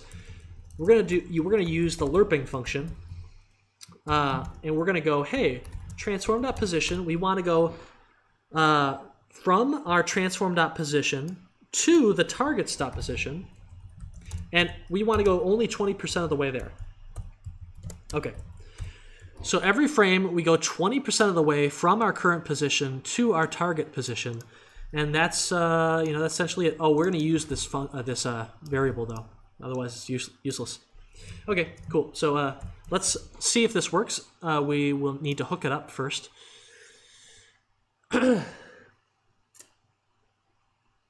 yeah.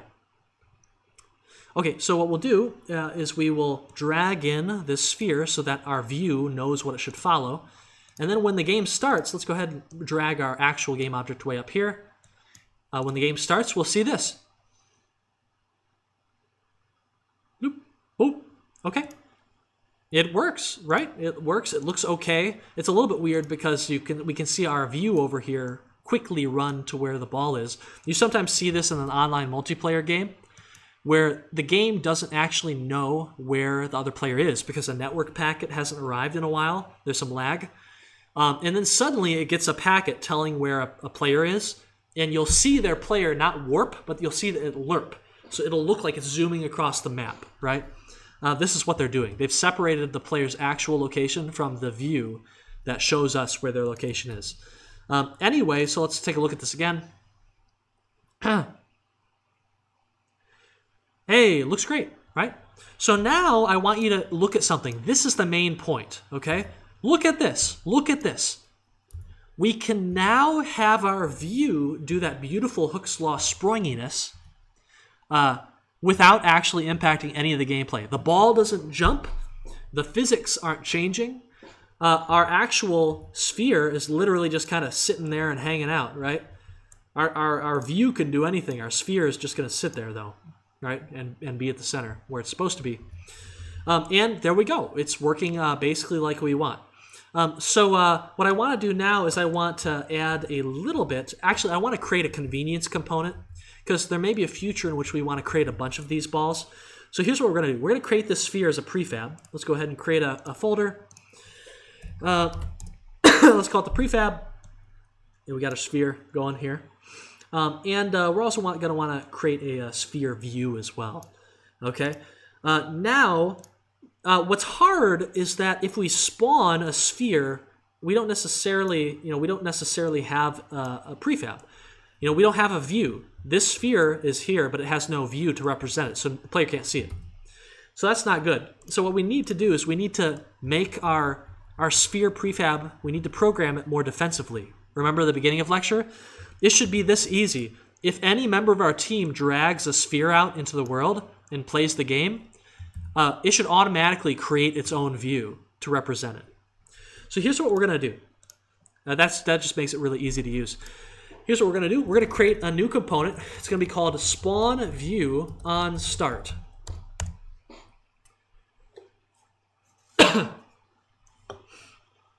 cool. Um, so uh, let's go ahead and uh, that's not the right component we want to add. Spawn view on start. This component, its entire purpose is going to be to spawn the view for that object. So it needs to know what object it needs to spawn, what view it needs to spawn. So we're going to call this a view prefab. Uh, and then, uh, well, when the game starts, it's going to do this. It's going to do game object.instantiate. What does it want to instantiate? Oh, come on, autocomplete. What does it want to instantiate? Well, the view prefab, right? Um, where does it want to instantiate it? Well, uh, how about where we are, right? Uh, so it's it's immediately representing us well. Uh, we don't really care about rotation. I think that's probably fine. Yeah, I think it wants the rotation. Quaternion.identity. Actually, you know what? Give it the rotation we have. How about that? Um, transform.rotation. There we go. And uh, that's pretty much it. However, if we do this, the, the view that we spawn in is not going to follow us, right? So we create a view object, but we haven't told that view object that, you know, who, who they should follow. So what we'll, we'll do is this, view prefab that get component, follow target, uh, and we will say, let's uh, do, let's do this. We got to set the uh, trade, we got to set the target, got to set the target value. Um, and it's going to be us, right? And there you go. That's pretty much it. Um, you could do something like, hey, if you want to be really defensive, if we were programming on a team, we might want to do this. Um, so let's do uh, view prefab. Uh, if view pre prefab dot get component follow target uh, is not equal uh, is, is equal to null, then we're going to send a warning message and we're, we're going to bail we're going to say Debug debug.log error, um, you know, uh, view prefab requires a follow target component to represent its uh, model game object. Okay, there you go. then we'll return because we don't want to we don't want to execute this code or we'll get a null null reference error there. Okay, so that is a nice little bit of defensive programming. We got a question in the chat.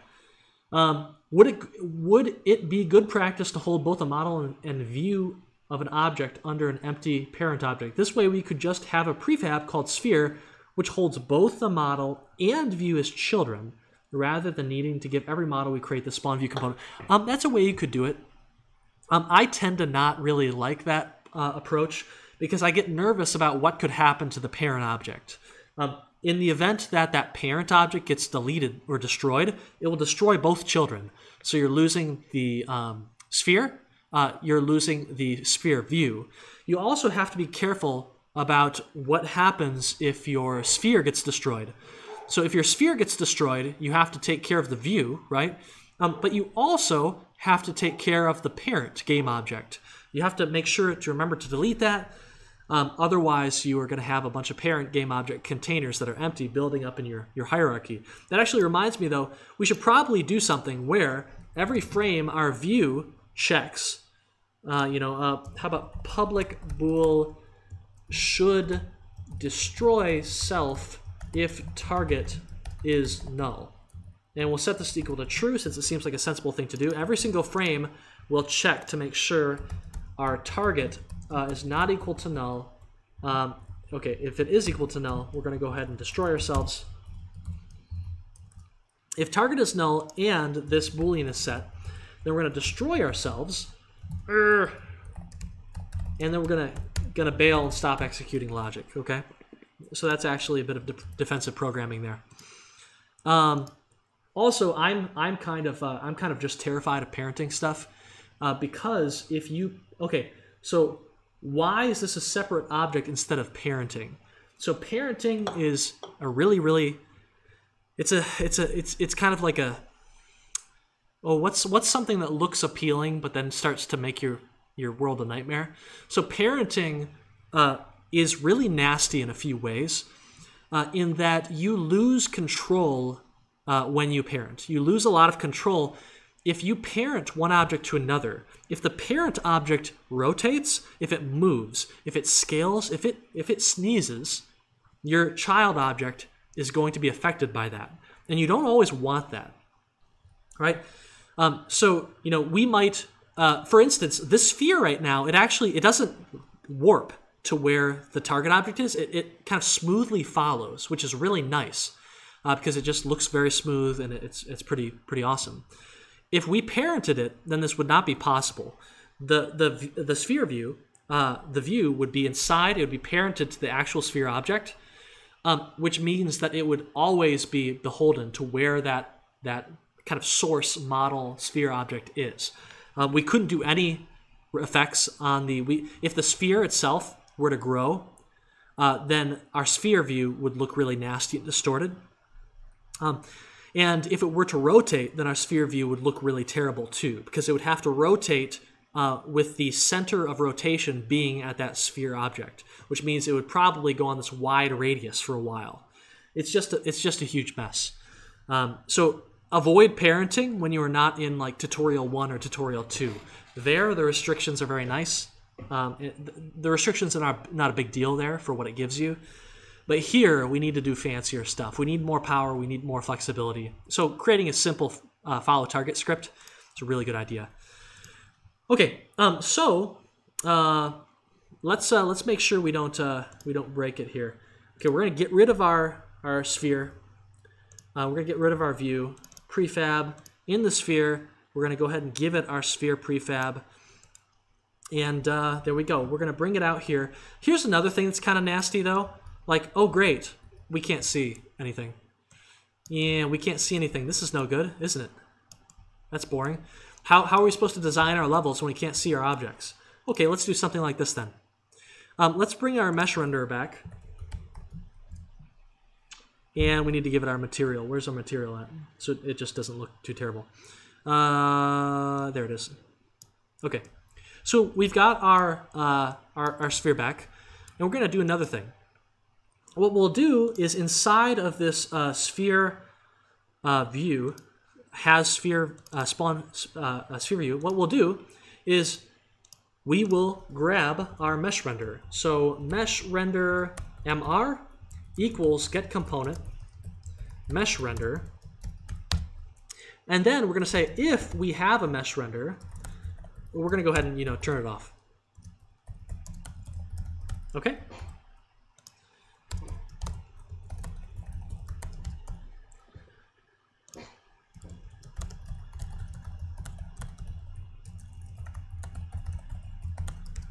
Okay. Yep, so now we got a little nice organization here. We'll block it a little bit. There we go. Okay, we don't need the update function. Gotta hold ourselves to a really high standard here.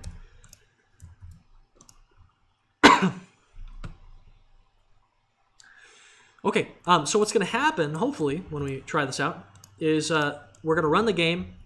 This sphere is gonna spawn a sphere view to show it off.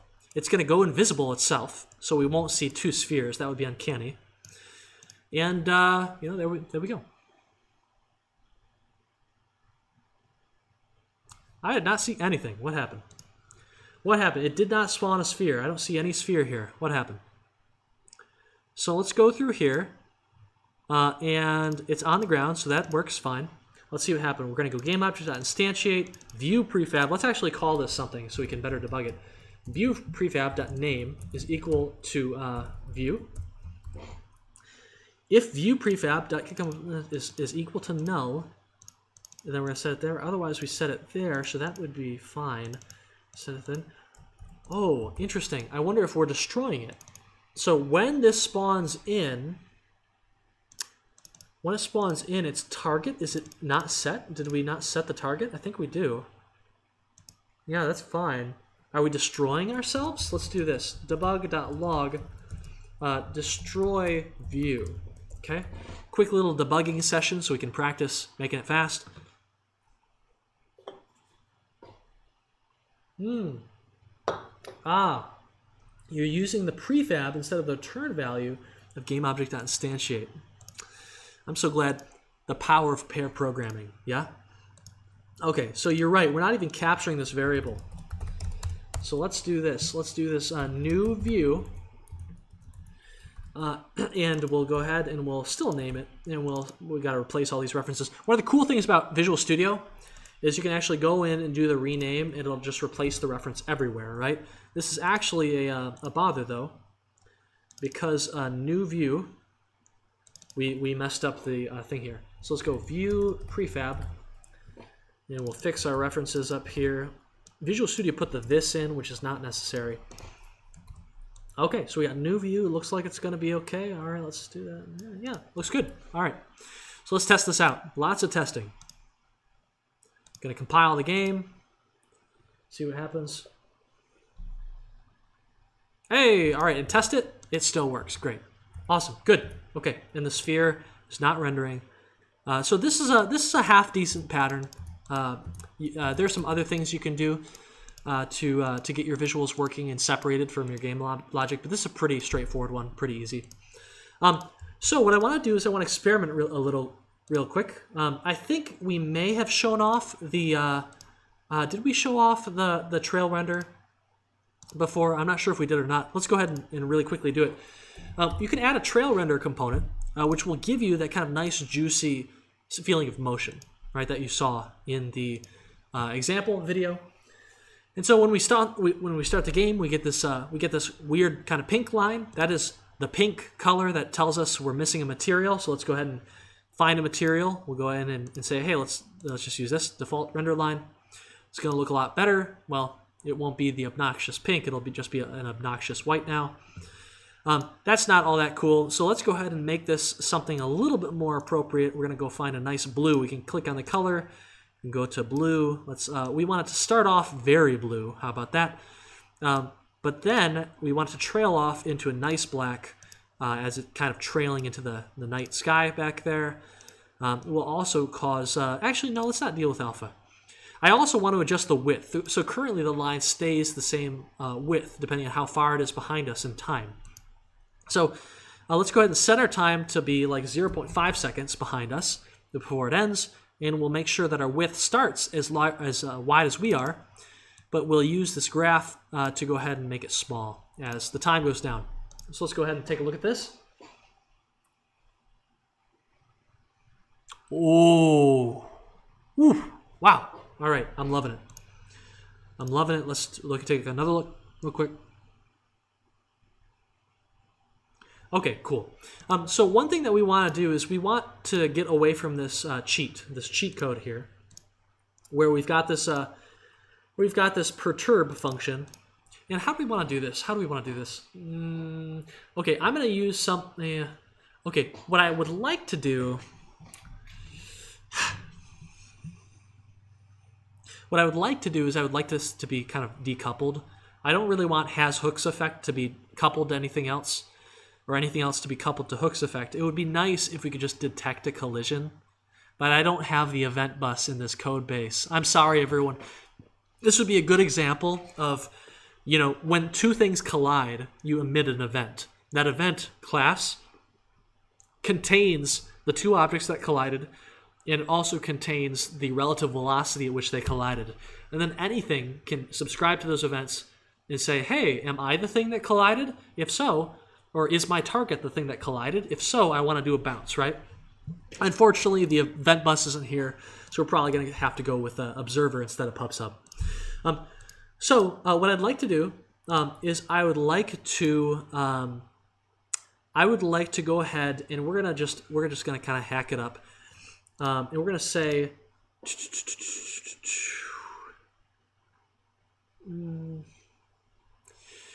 We're going to go ahead and we're going to say, oh, this is going to be so hacky. I don't like it. What we're going to do is we're going to go ahead and give this sphere a new component that says um, may collide. And I don't like this already uh, because, I mean, we already have a component that says may collide. It's the collider, right?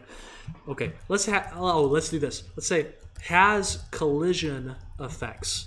That's a little bit better uh, because this is essentially going to, this component's going to allow us to um, uh, to uh, do that juicy bounce when we hit the ground. Okay, so here we only care about when we collided with something. So we're going to go on the uh, void on collision enter.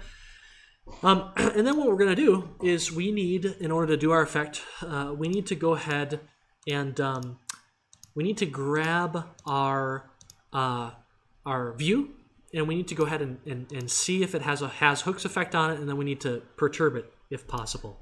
Okay, um, so what we should do is we should say, hey, we're going to do spawn view on start uh, view controller.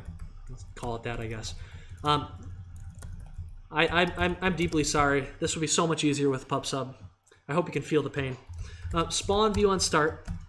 This spawn view on start component needs to be able to give us uh, the uh, the view pre uh, not the view prefab. We don't care about the prefab, uh, but we do care about the uh, the actual view that we spawned. Current view, what we'll do is instead of using new view, we'll use current view.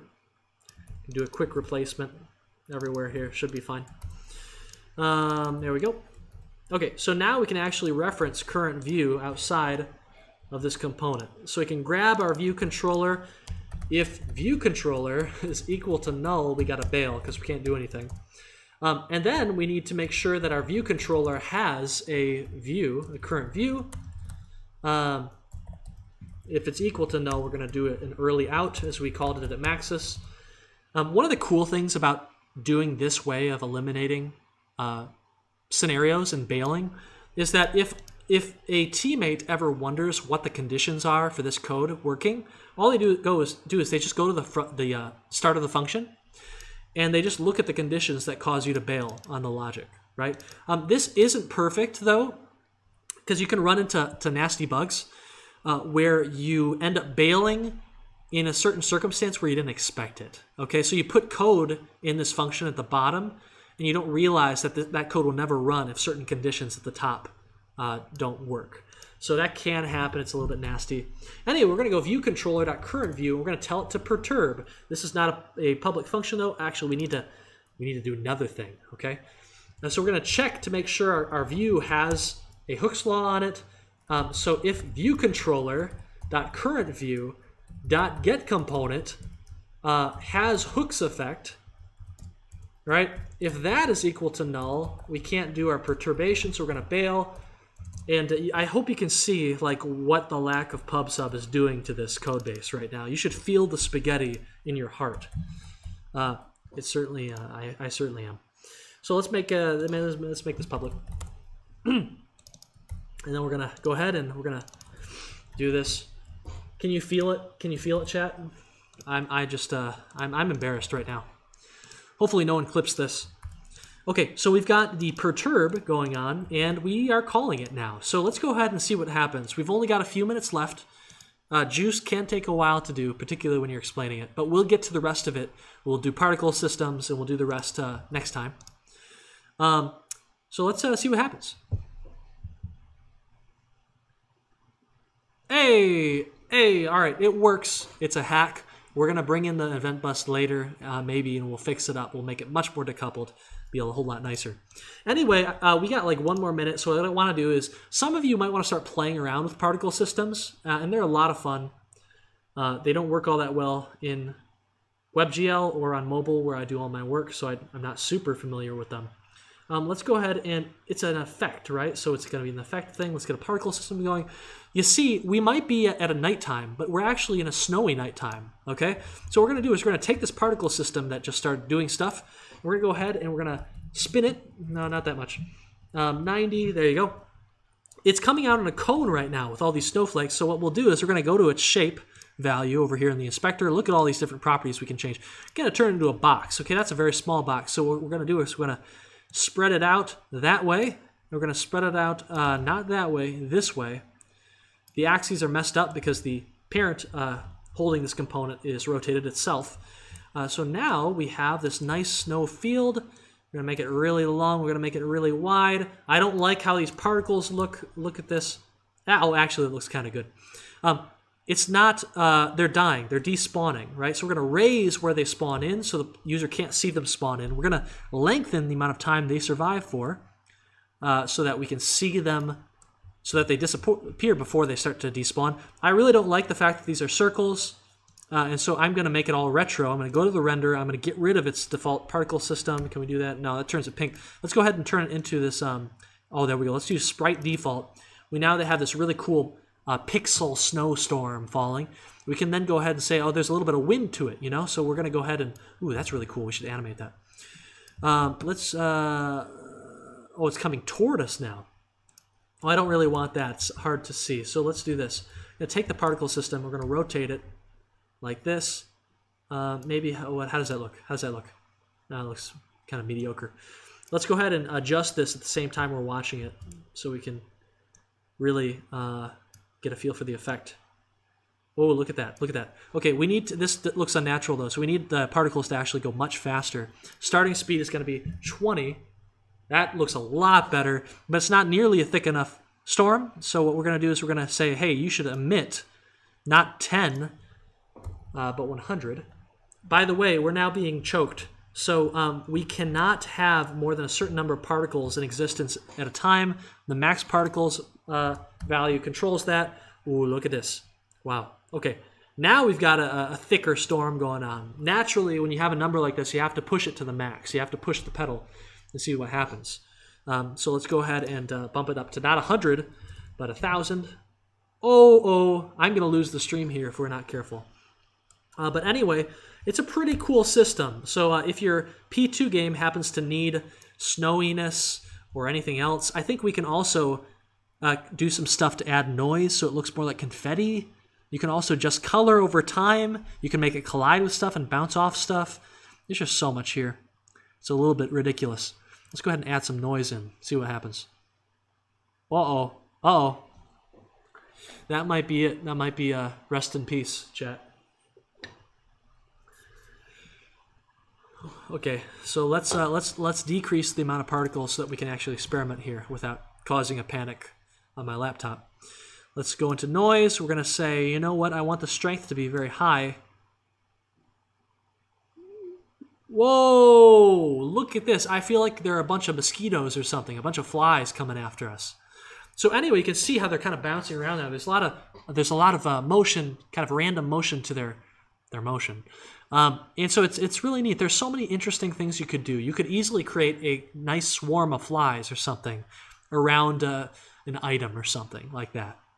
Uh, if you just uh, maybe, oh, you know, let's get rid of all the motion. I'm very curious what will happen. Well, what happens if we get rid of the motion? I'm guessing that.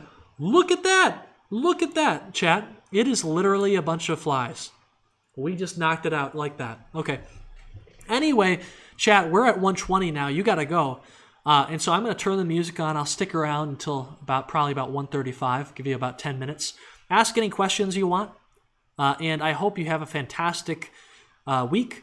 Uh, I hope you have a great end to your P2 Gold Spike. Please stay tuned for a Piazza message on the topic of how our Wednesday lecture lecture will work. On Wednesday, we're going to be doing playtesting sessions, which means you will be assigned a certain number of games that you need to play, provide feedback for, and record footage of too. Footage of you playing the game, so your desktop, as well as your webcam footage, so the, the developer can kind of see your reaction and hear you talk, okay? Um, if you don't have a computer that can do these things, let me know, and we'll uh, we'll just have you do text. Otherwise, I want you to get that high quality feedback uh, to your peers. Okay, uh, they'll appreciate it a lot. Anyway, team, thank you for joining us. I hope you're excited seeing all this cool, juicy stuff that we can just start experimenting with. Definitely worth investing at least a little bit of time into, um, as it can really change someone's first impression and ongoing impression of your project. So take care, everyone. Have a good uh, good time. Uh, let me throw on some music for us.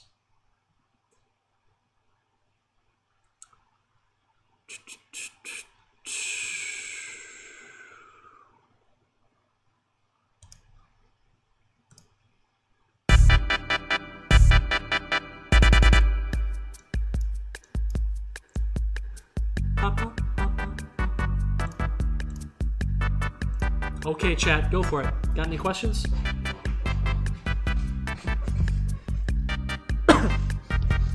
Would you all like to see Ellie? Ellie will help, help us answer questions.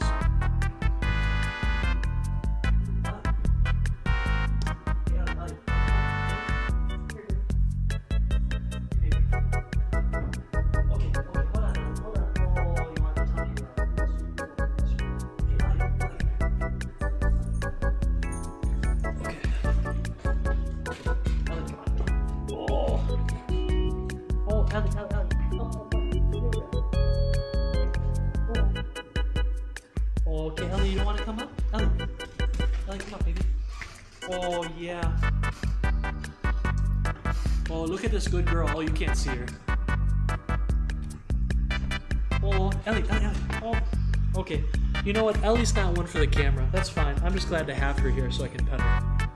Uh, she is an Australian Shepherd. She is the friendliest personality that you've ever met. Uh, she is also, um, and I say this in the most loving way, a complete chicken. Uh, she will run from any fight. Uh, she is not a guard dog. She is a watchdog. So, if uh, if you know any danger is detected, you know correctly or incorrectly, she'll make all sorts of noise, but she will not help you confront that danger. Like if you go to the door, she's going to be 10 feet behind you. You know, who, who knows what could happen? At least that's her thought process. It's yeah, it's a little bit adorable, uh, but a little bit unfortunate. Sometimes. Oh, wow, what a good girl. Oh my gosh. Oh my gosh. It's amazing. We actually got her a um, so she's she's having a hard time walking sometimes now. Uh, and so we got her a, uh, a bike. Uh, we got her a, sorry, we got her a um, a carriage to wheel her around in. Uh, let's do this. Uh, uh, what is the brand called? Dog, bike, carrot, carriage, Amazon. She has a strong survival instinct. It's very impressive. Um, it is essentially this, and you can see this this uh, Reggie B imposter right here. Um, yeah, so that was pretty expensive, but uh, it is it works extremely well. So we take her for bike rides now, and, um, and she uh, she's very happy about that that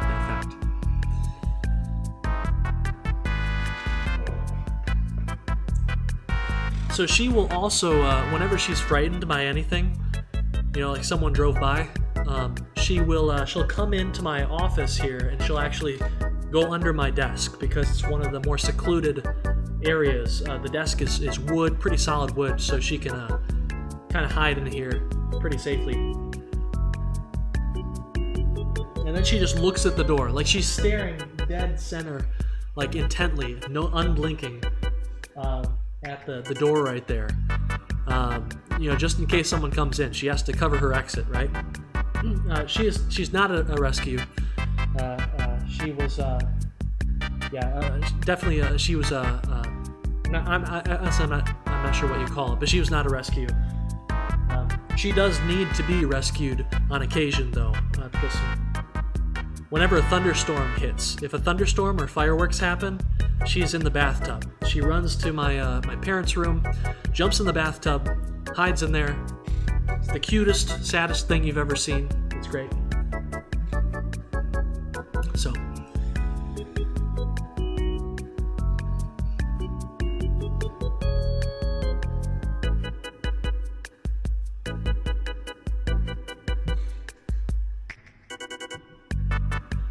Yeah. Oh yeah. Yeah. We also have really good, uh, really nice windows. I'll actually show you. So she loves to be in this room to look out the windows. Um, I'm not sure if you can see that, but she she really likes to uh, look out the out the windows, kind of keep her surveillance going. It's just more effective out, out in, in this room. Okay, so a complete gameplay loop, and I believe the the the, the assignment spec kind of explains what this means. Um, but games tend to work in a certain way, um, where you know you start the game, as in you launch the application in your operating system, and the game starts. You start playing it. It ends. And then it goes back to the start of the game, and you play it, and it ends, and you go back to the start of the game, and you play it, and it ends, right? And that loop, sometimes that loop is going back to the title screen, sometimes that loop is just retrying a stage, right? So it's a smaller loop. Um, but you really, you really don't want a loop where the game, the, you start the application, you play it for a while, and the game just never ends. And so the, the player's only way to restart is to kill the game. And this can happen a lot. This happens a lot with student games and with uh, games that are very early in development where um, it just kind of it, it, it, crashes out or the game is expected to soft lock. No game should ever be expected to soft lock or be forced to be kind of quit out kind of hard quit like go into task manager kill the program. Um, and so one of the first things that we need to do is we need to establish the loop. Even if the loop is extremely tiny even if the game loop is literally one stage even if it's literally 30 seconds. You establish the game loop so that the player can play as many times as they want without quitting the actual application. And then your entire objective for your development process is to fill up that game loop and stretch it and make it longer, fill it with better content, right? Uh, fill it with a more meaningful loop so that people want to play multiple times. Um, and so we need to get that loop established as fast as we can. We need to get the beginning of the game set up, we need to get the end of the game set up, and then we can fill the middle with all this juicy, amazing content and all these great decisions, okay? Uh, to engage the player. Um, so essentially, it's just kind of it's it's a good habit. It's a good process habit when you're making a game. Just get that loop finished as fast as you can, um, because it's hard to show off if you don't have that loop established right? Like you don't want to give a playtester a game that's just going to soft lock and they can literally only play it once. Like how can they give you good feedback if they only have one chance to play it, you know? Should the gold spike mechanic just be the most difficult part of our game to implement or should it focus on our novel mechanic? Like usually these will be the same thing because a mechanic that is easy to implement will usually not be very novel because it's easy to implement, therefore chances are much higher people have done it already. So usually these two are, are the same thing or very related. Um, but your gold spike mechanic, um, uh, it should be the most challenging. you know, it's kind of a cross. You can choose, in other words. Um, because the most important mechanic in your game is probably going to be kind of tricky to implement, or it's going to take some time because it's the most important thing, right? It's the thing you have to get right. Um, so you can probably choose which one you consider your gold spike. The important thing, though, is to tell us which feature is your gold spike, so we know how to grade your project. You know? Um, yeah. I, I, yeah, I hope that was useful. If, if that's still confusing, you can uh, shoot me a question on Discord or something. Two minutes. Um, what if I just found a YouTube video that has my novel mechanic in it? Um, it's a bad feeling for sure. Um, but here's something to consider. Usually, even if two games have a very similar mechanic, it often has a very different feel because it was implemented differently or was balanced differently. Um, or you know that that mechanic appears in a different context so the stages are different they put different emphasis on different things so it's very rare that a mechanic will be literally the same thing. And here's another thing. Um, there are a billion games out there. There are countless titles. And many of them are hard to find. They're obscure. It would be unreasonable for us to expect that you've played every game that has ever been made right? And so what we expect from you is that you you avoid mechanics that are mainstream, that are appearing often in big games. And if it appears in like an obscure indie title, you know, whatever. Take your mechanic and try and find a way. If you did find your mechanic in a YouTube video, try and find a way to tweak it or balance it a little bit to be a little bit unique, right? Um, because you you once you discover that your mechanic has already been done you want to change it right? Because you want to try out something that you know you don't know if it'll work. You know so uh, tweak it a little bit balance it to be a little bit different than what you see in that other game and you're probably going to be fine for novelty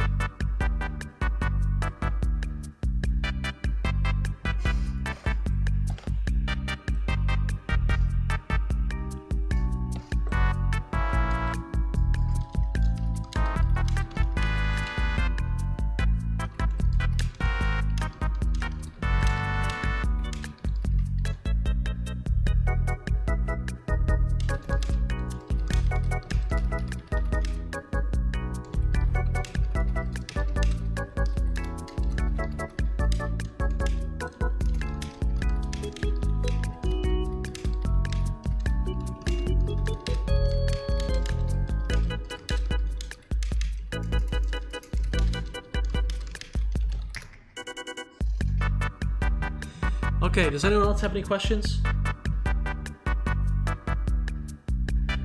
Okay, awesome. Ladies and gentlemen, thank you for joining us. Uh, I hope the uh, the juice lecture was a little bit useful, and uh, I hope you have a fantastic time on P2. Okay, I look forward to playing your P2 Gold Spikes soon. Uh, and uh, yeah, have a safe and healthy couple of days. And we'll see you on Wednesday. Okay, bye bye.